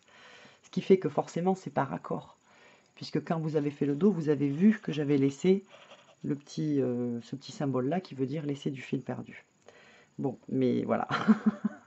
J'essaye d'optimiser mon temps parce que Inutile de vous dire que toutes ces vidéos, ça prend un temps, mais absolument incroyable.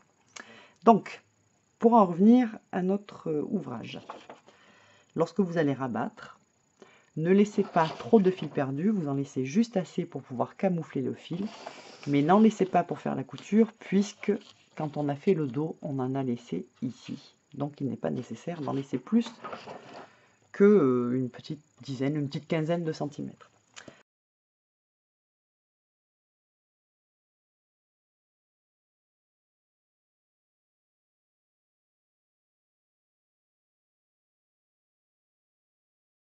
Moi, comme j'ai choisi de, enfin a priori, comme j'ai choisi de venir assembler en crafting, grafting, je crois que c'est grafting, faut, faut quand même que je cherche un peu, hein, parce que là je me lance dans un truc, on verra.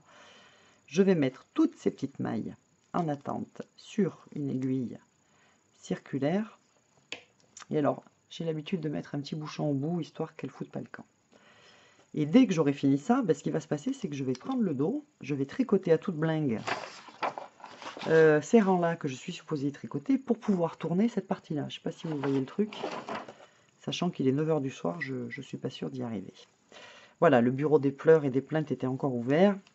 De là, ce que je vous dis, que franchement, je mérite bien un abonnement. Euh, il n'y a qu'un pas que je ne franchirai pas.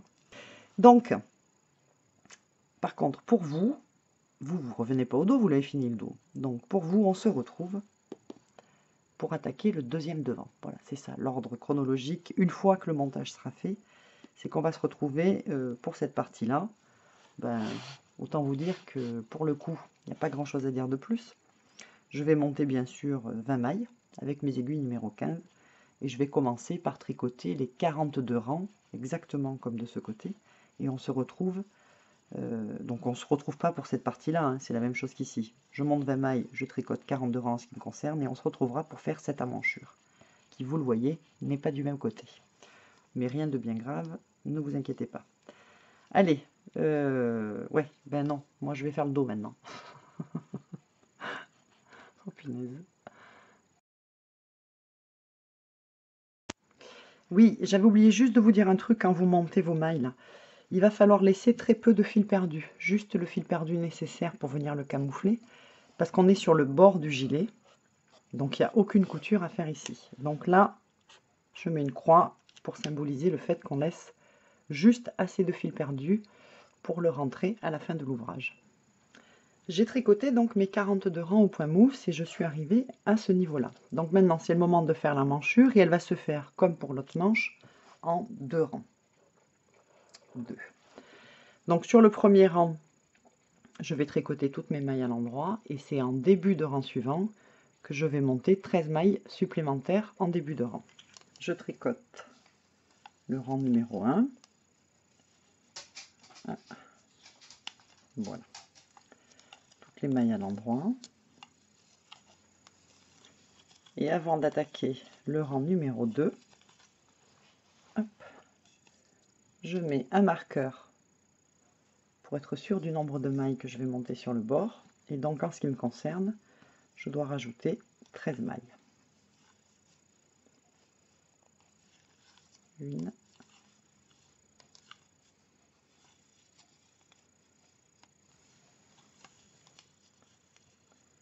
Voilà.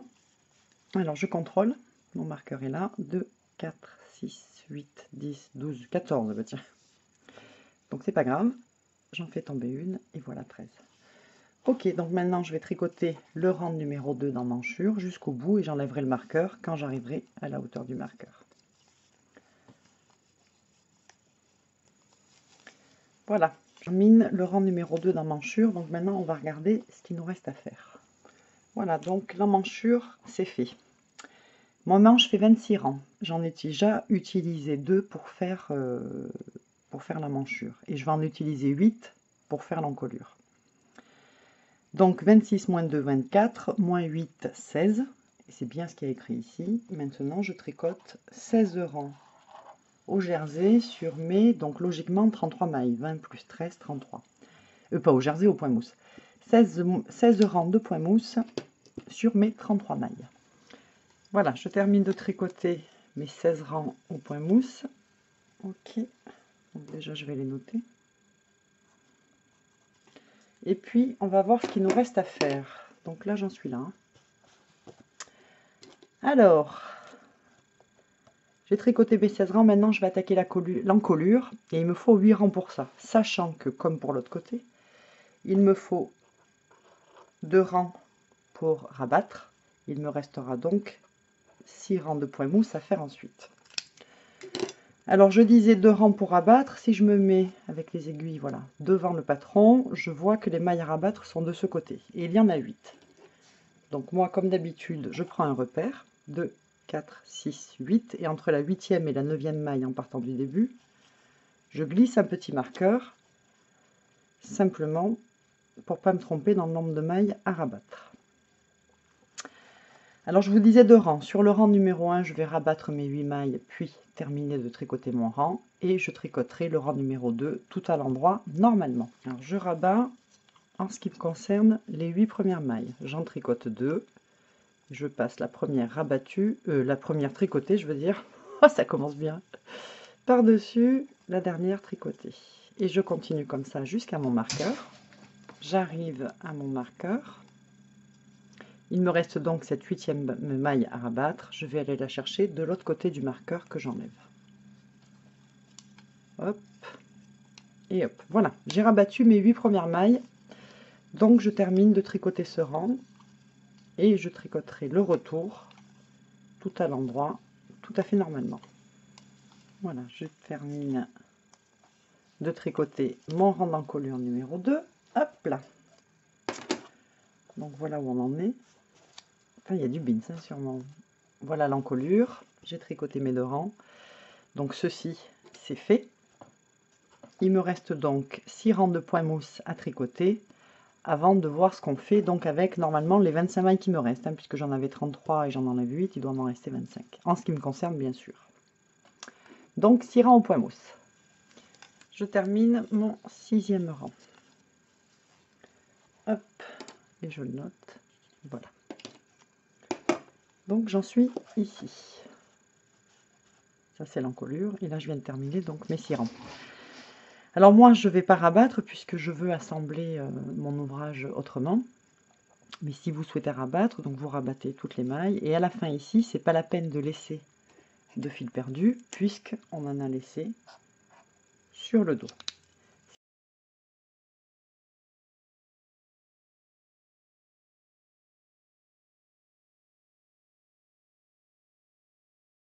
Si par contre vous ne rabattez pas, euh, euh, ben là normalement c'est pas la peine de laisser non plus beaucoup de fil perdu puisqu'on va rabattre aussi avec le fil sur le dos. J'espère que je vous ai précisé que pour rabattre avec trois aiguilles il faut beaucoup plus de fil que pour faire une couture au point arrière évidemment. Donc pour ça, eh ben c'est bon du coup, je crois qu'on va pouvoir passer à l'assemblage. Euh, oui, j'avais oublié de vous dire, quand je dis que je mets les mailles en attente, ça veut dire que je les mets vraiment en attente. Donc comme pour le dos, je choisis une aiguille double pointe. Là, je mets un petit bouchon pour pas que les mailles s'échappent.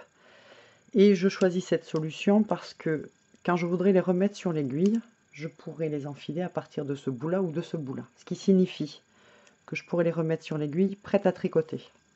Ce qui n'est pas le cas si je les mets en attente sur une aiguille normale, puisqu'il y a un des deux côtés où il y a... Euh, ben, les mailles peuvent pas passer. quoi. Donc moi, en général, non, même à chaque fois.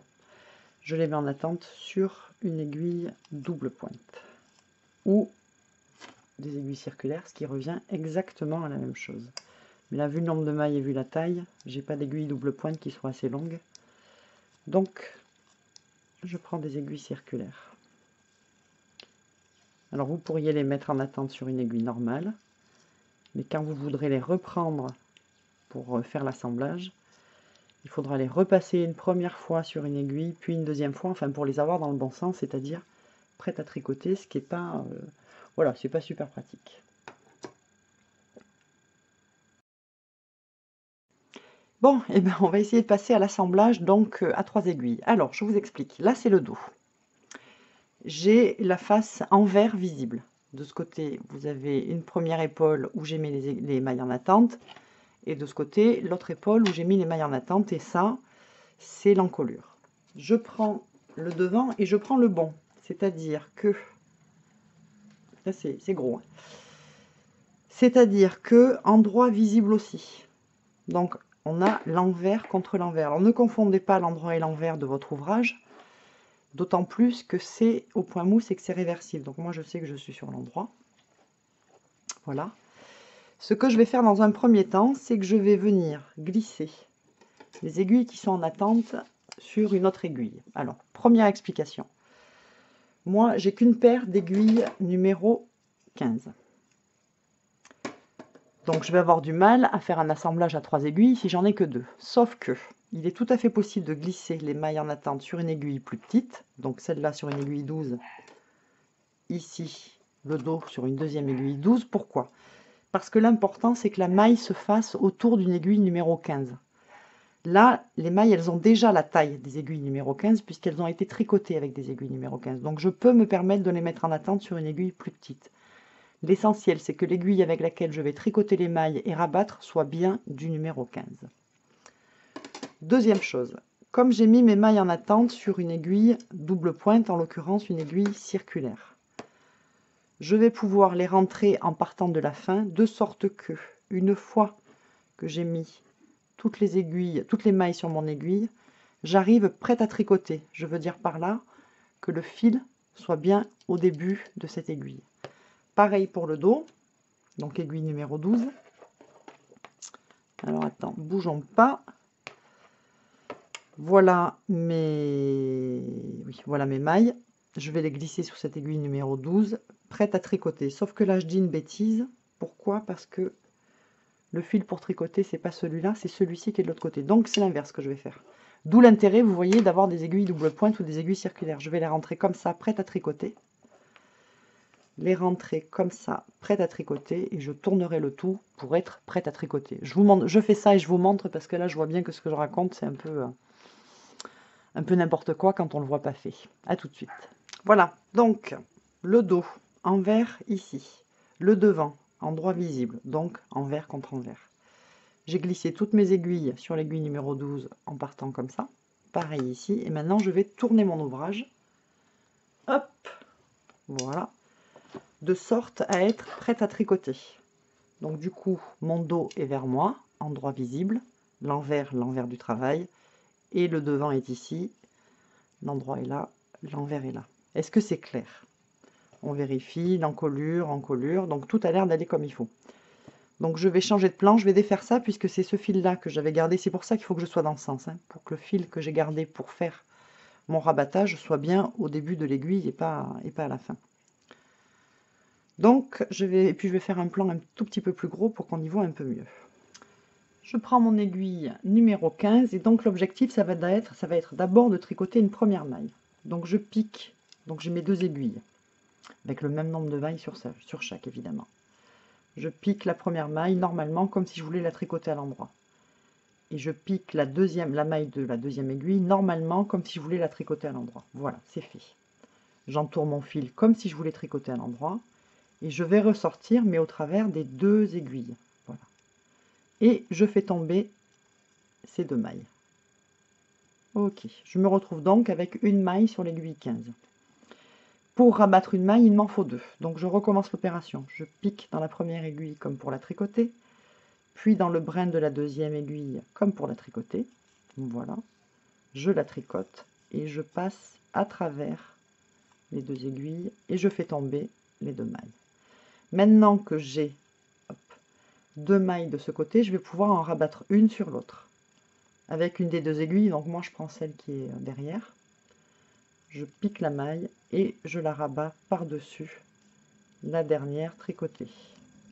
J'ai rabattu une maille et je recommence. Je pique dans la première aiguille. Et là, mes mailles, elles sont pas dans le bon sens. Zut, je vais la remettre dans le bon sens. On recommence. Il y a un sens hein, des mailles, c'est que là j'ai dû euh, faire une bêtise. Enfin rien de grave. Je pique dans la première aiguille, je pique dans la deuxième, je tricote, je ressors, je fais tomber les mailles des aiguilles de derrière, c'est fait. Je prends la première maille tricotée et je la glisse par-dessus la seconde. Et je détends. Je détends, ça veut dire voilà que ce fil-là soit le plus libre possible, parce que si je serre, ça va créer une tension, et donc mon épaule va être euh, sous tension, j'allais dire, donc un petit peu rétrécie. Et je continue comme ça, et je vais aller jusqu'au bout. Je pique dans la première, je pique dans la deuxième, je tricote, je passe à travers les deux, je fais tomber les mailles, et ensuite je rabats la première sur la dernière tricotée, et je détends pour rester souple. Et je vais bien sûr faire ça jusqu'à ce que je n'ai plus de mailles sur mes deux aiguilles. On dirait que j'ai fait ça toute ma vie, sérieusement. C'est la première fois. Hein. Mais bon, ça va bien se passer. Alors évidemment, avec des grosses aiguilles, c'est un peu... Enfin, de toute façon, à trois aiguilles, à mon avis, c'est difficile à manipuler. Mais j'espère que le résultat sera sympa, surtout qu'en plus, je le fais donc sur l'endroit du travail. C'est-à-dire que euh, le rabattage est visible. Après, je retournerai et on verra si c'est plus joli de l'autre côté. Auquel cas, si j'arrive à la conclusion que c'est beaucoup plus joli de l'autre côté, eh bien, on ferait cet assemblage, mais endroit contre endroit, c'est-à-dire envers visible, pour que la jolie partie du rabattage soit visible de l'extérieur et que la partie la moins jolie se retrouve à l'intérieur de l'ouvrage. Allez, je continue comme ça. Et puis on se retrouve pour la fin pour voir ce qu'on fait avec la dernière maille. Ok, donc là, c'est les dernières mailles que je tricote pour rabattre. Voilà. Je prends celle-là et je la rabats sur l'autre. Là, c'est mon fil, oulala, ça c'est mon fil perdu euh, d'un des deux côtés. Ça c'est le fil qui mène à la pelote. Donc je vais faire comme je fais d'habitude. Quand on rabat, on agrandit la dernière maille. on fait passer le fil dedans et on tire. Voilà.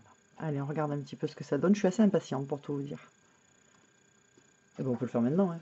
Je vais pas couper pour ça quand même. Hop là. Alors, déjà, est-ce que tout est bien du bon côté? Oui. Ok.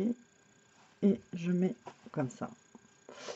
Eh bien écoute, euh, je trouve ça pas mal du tout. Donc ça fait comme une petite surépaisseur, mais quand même super souple.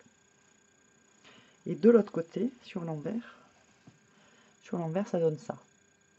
Alors moi, du coup, je suis assez contente d'avoir fait ce rabattage en ayant les endroits visibles, c'est-à-dire envers contre envers. Parce que je trouve que cette finition, ça fait un petit liseré qui est quand même assez sympa. Tu vois, enfin ouais, moi je, voilà, je suis assez contente. Donc il me reste deux fils perdus que je viendrai rentrer tout à la fin. Alors maintenant, ce qu'il faut faire, c'est la même chose, hop là, mais de l'autre côté, en prenant bien l'autre endroit, euh, l'autre devant, je veux dire. je vais faire un plan plus large. Ok, donc celle que je viens de faire, elle est là. Hein. C'est vrai que du coup, tout prend des proportions énormes là, parce qu'il pèse 3 tonnes. ma veste, le gilet pèse 3 tonnes, bref.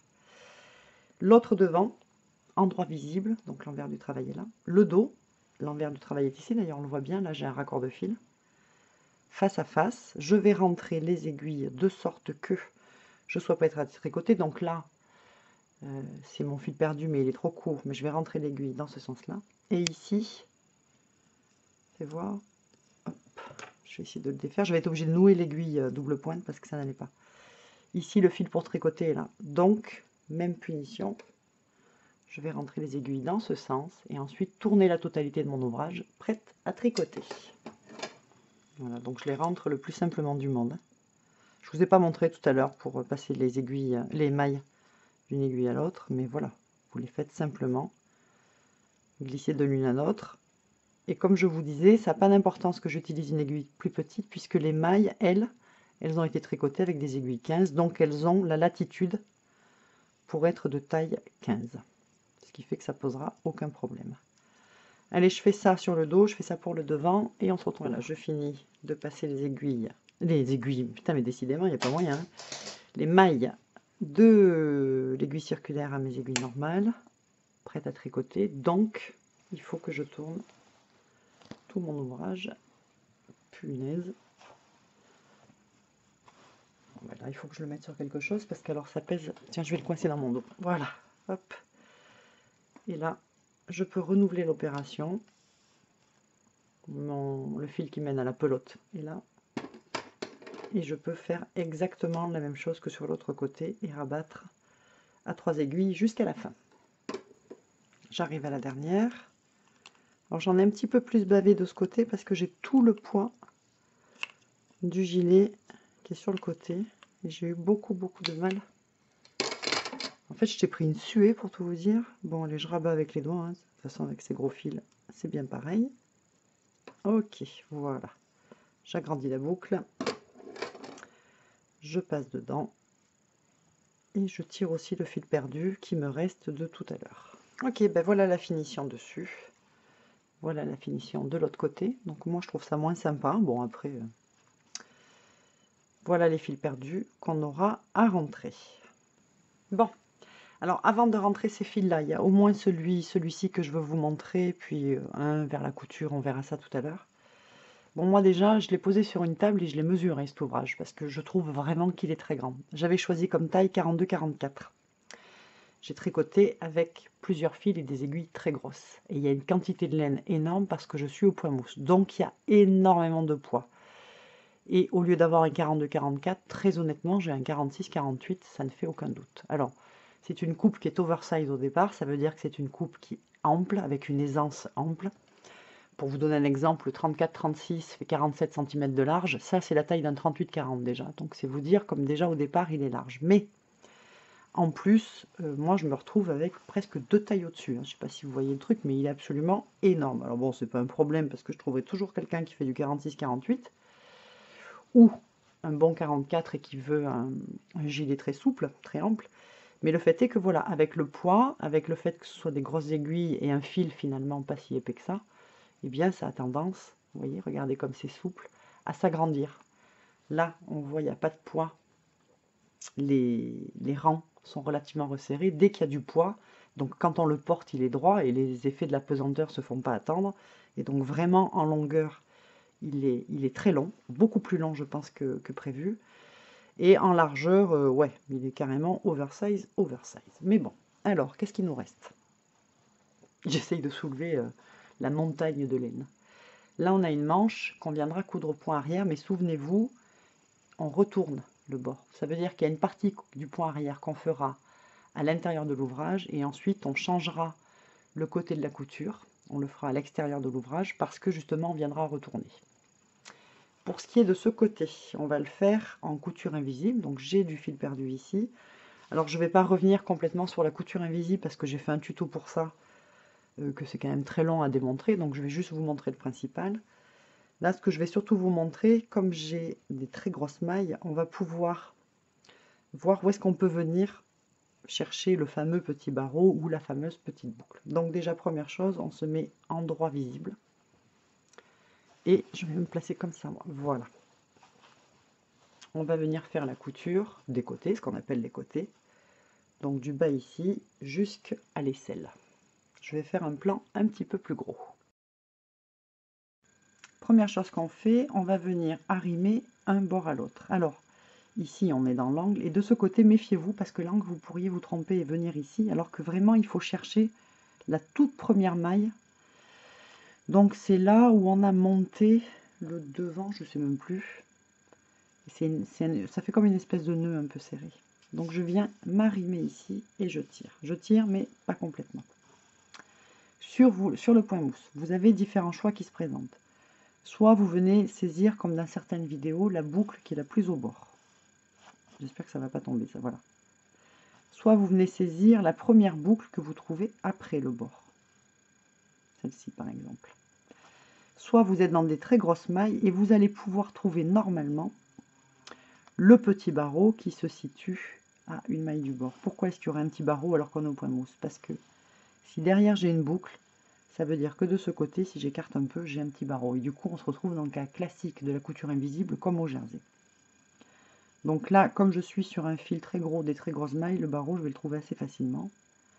Donc, je le prends. Je tire, mais pas complètement. Je vais en face.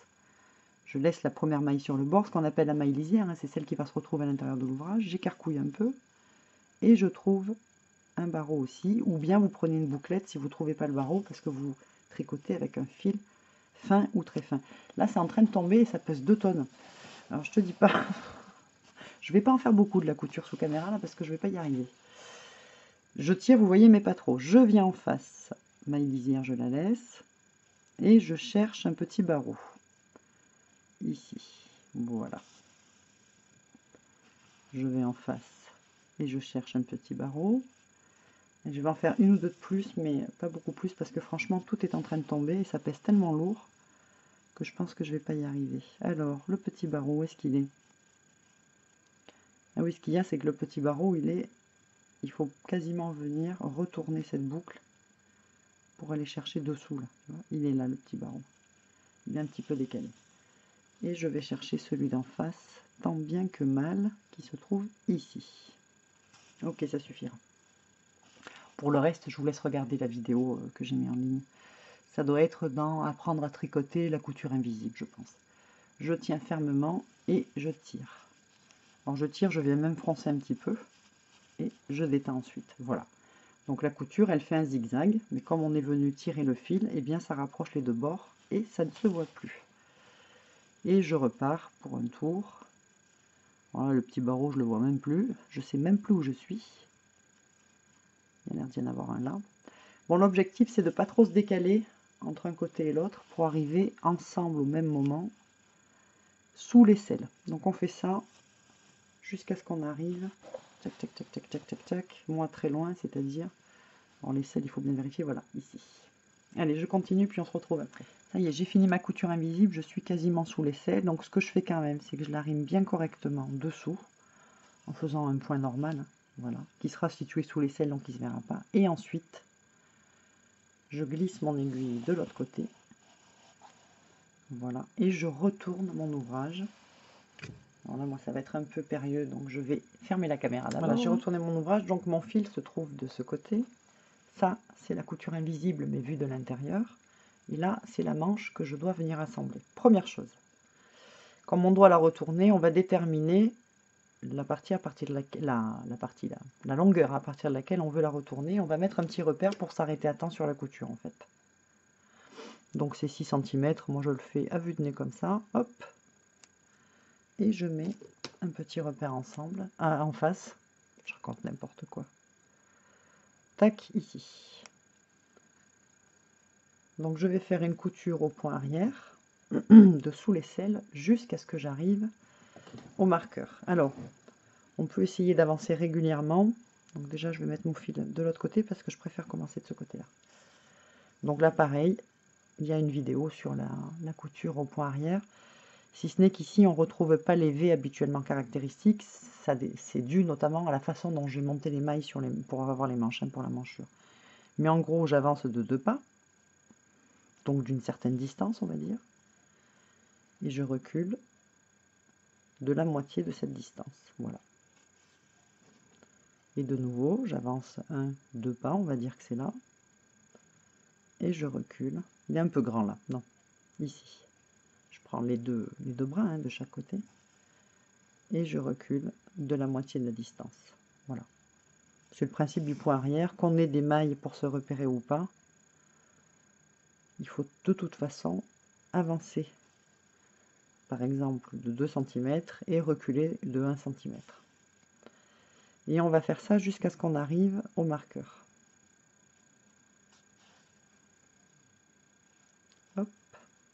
vous pouvez vérifier en cours de route si ça fonctionne. Il faut à ce moment-là regarder comme ça. Allez, je continue et je vais jusqu'à mes marqueurs qui sont du coup complètement décalés parce que tu vois, j'ai dû tirer d'un côté et pas de l'autre.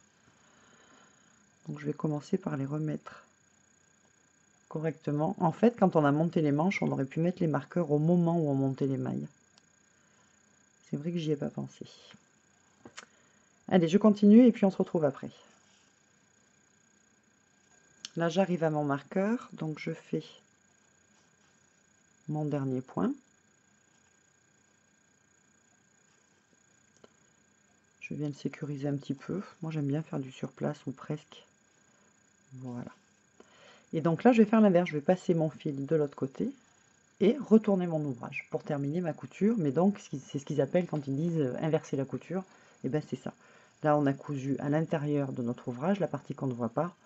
Et cette partie-là, on va la coudre à l'extérieur de l'ouvrage, la partie qui se voit, mais comme on va retourner la manche, ça ne se verra pas. Voilà, donc maintenant je suis sur l'endroit du travail, la partie visible, mes petits marqueurs, on les voit, je peux les laisser pour l'instant, hein, je, je, les enlèverai après, et mon fil est de ce côté.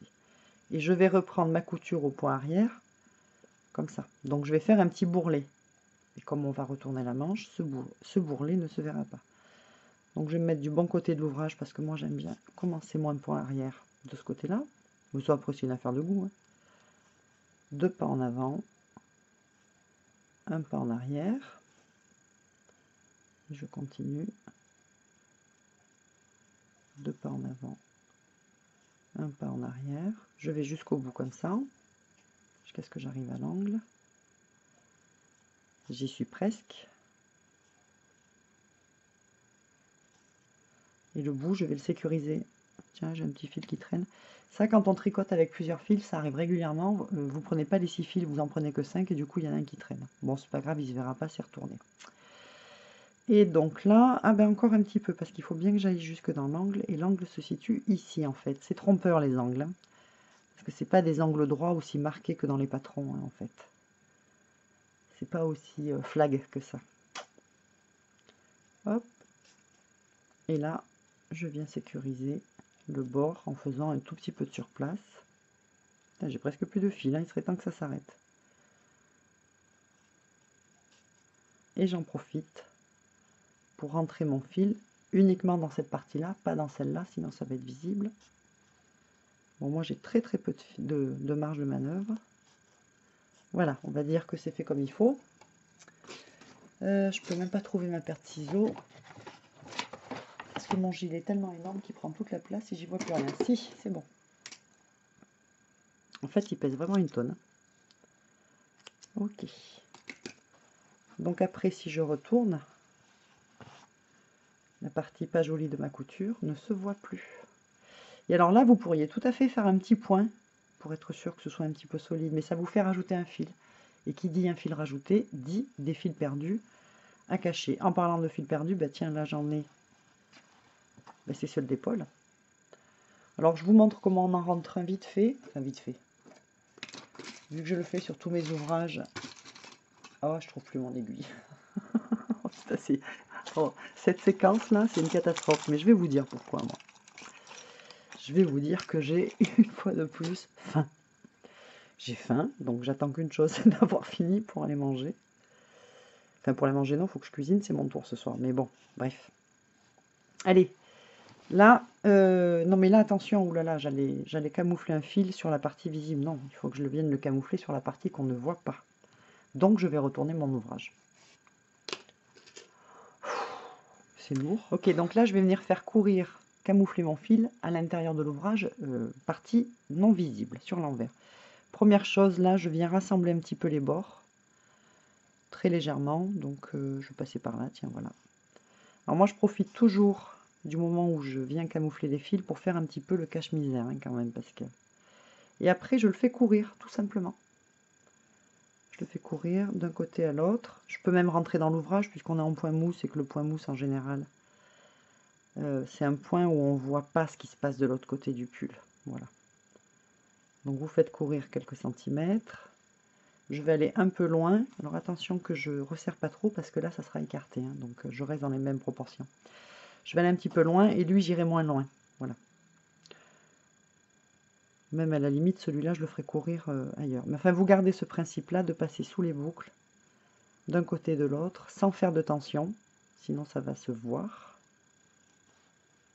Quand vous estimez que votre fil a assez couru, vous faites un semblant de surplace. Donc là, je vais le faire courir un petit peu comme ça. Vous voyez, je rentre dans, enfin, je rentre dans l'ouvrage. Je reviens sur mes pas. Je sécurise en faisant presque du surplace, comme ceci. Et je ne, coupe pas, le fil tant que je n'ai pas vérifié ce que ça donne de l'autre côté. C'est-à-dire qu'il faut réellement retourner l'ouvrage et vérifier que ça se voit pas sur l'endroit du travail. Et le deuxième, je ferai pareil. Alors, je vais peut-être pas venir faire le faire courir euh, que ici. Peut-être venir euh, ici. Voilà. Enfin, l'objectif, c'est ça. Hein. Le camoufler, ça veut dire ça. Ça veut dire le faire courir sur une partie de l'ouvrage que l'on ne verra pas. Et c'est seulement après qu'on peut couper le fil. Mais c'est pas de ça dont je voulais vous parler. Moi, je voulais vous parler surtout. Alors attends, parce que.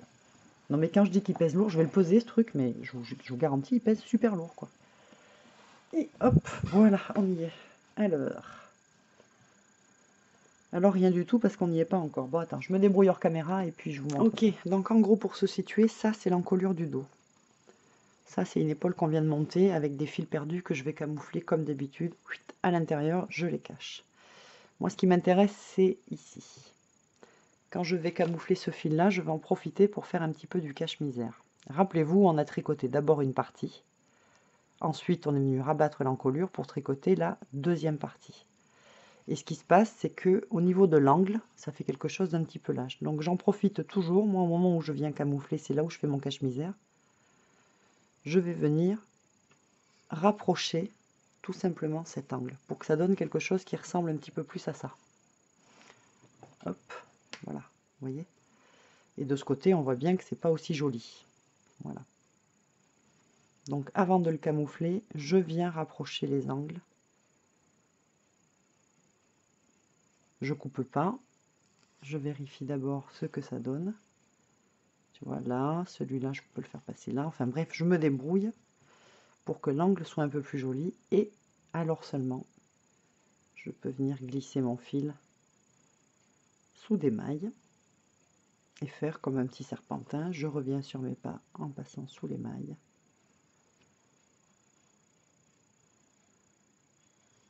Hop, je vais détendre un peu parce que sinon de l'autre côté ça va se voir. Et cette petite partie là, toute façon, j'ai pas la place de, de, faire un nœud ni quoi que ce soit, donc je coupe. Et voilà. C'était celui-là que je voulais vous montrer. Tous les autres fils à rentrer, c'est dans la couture la plus proche, en général. C'est ce qu'on fait. Ou venir faire un serpentin à l'intérieur de l'ouvrage. Il me reste à faire la couture invisible de ce côté-là, à faire la couture au point arrière de ce côté-là. Je n'oublierai pas évidemment d'inverser ma couture pour pouvoir retourner mes manches. Et donc ici, alors attends, elle est où l'autre manche là Parce que ça fait 3 km, voilà. Donc ici, je vais mesurer à quelle distance j'ai posé mes marqueurs pour faire la même chose de l'autre côté. Je vais me débrouiller avec tout ça sur une table parce que là vraiment, c'est pas possible de coudre et de filmer en même temps. J'aurais dû m'y attendre parce que j'ai déjà tricoté des pulls très gros, bien plus gros que ça, avec des aiguilles 20 euh, et même des aiguilles 25 pour tout vous dire. Mais là, non, là je m'en sors pas, c'est trop lourd, ça part, c'est pas chouette.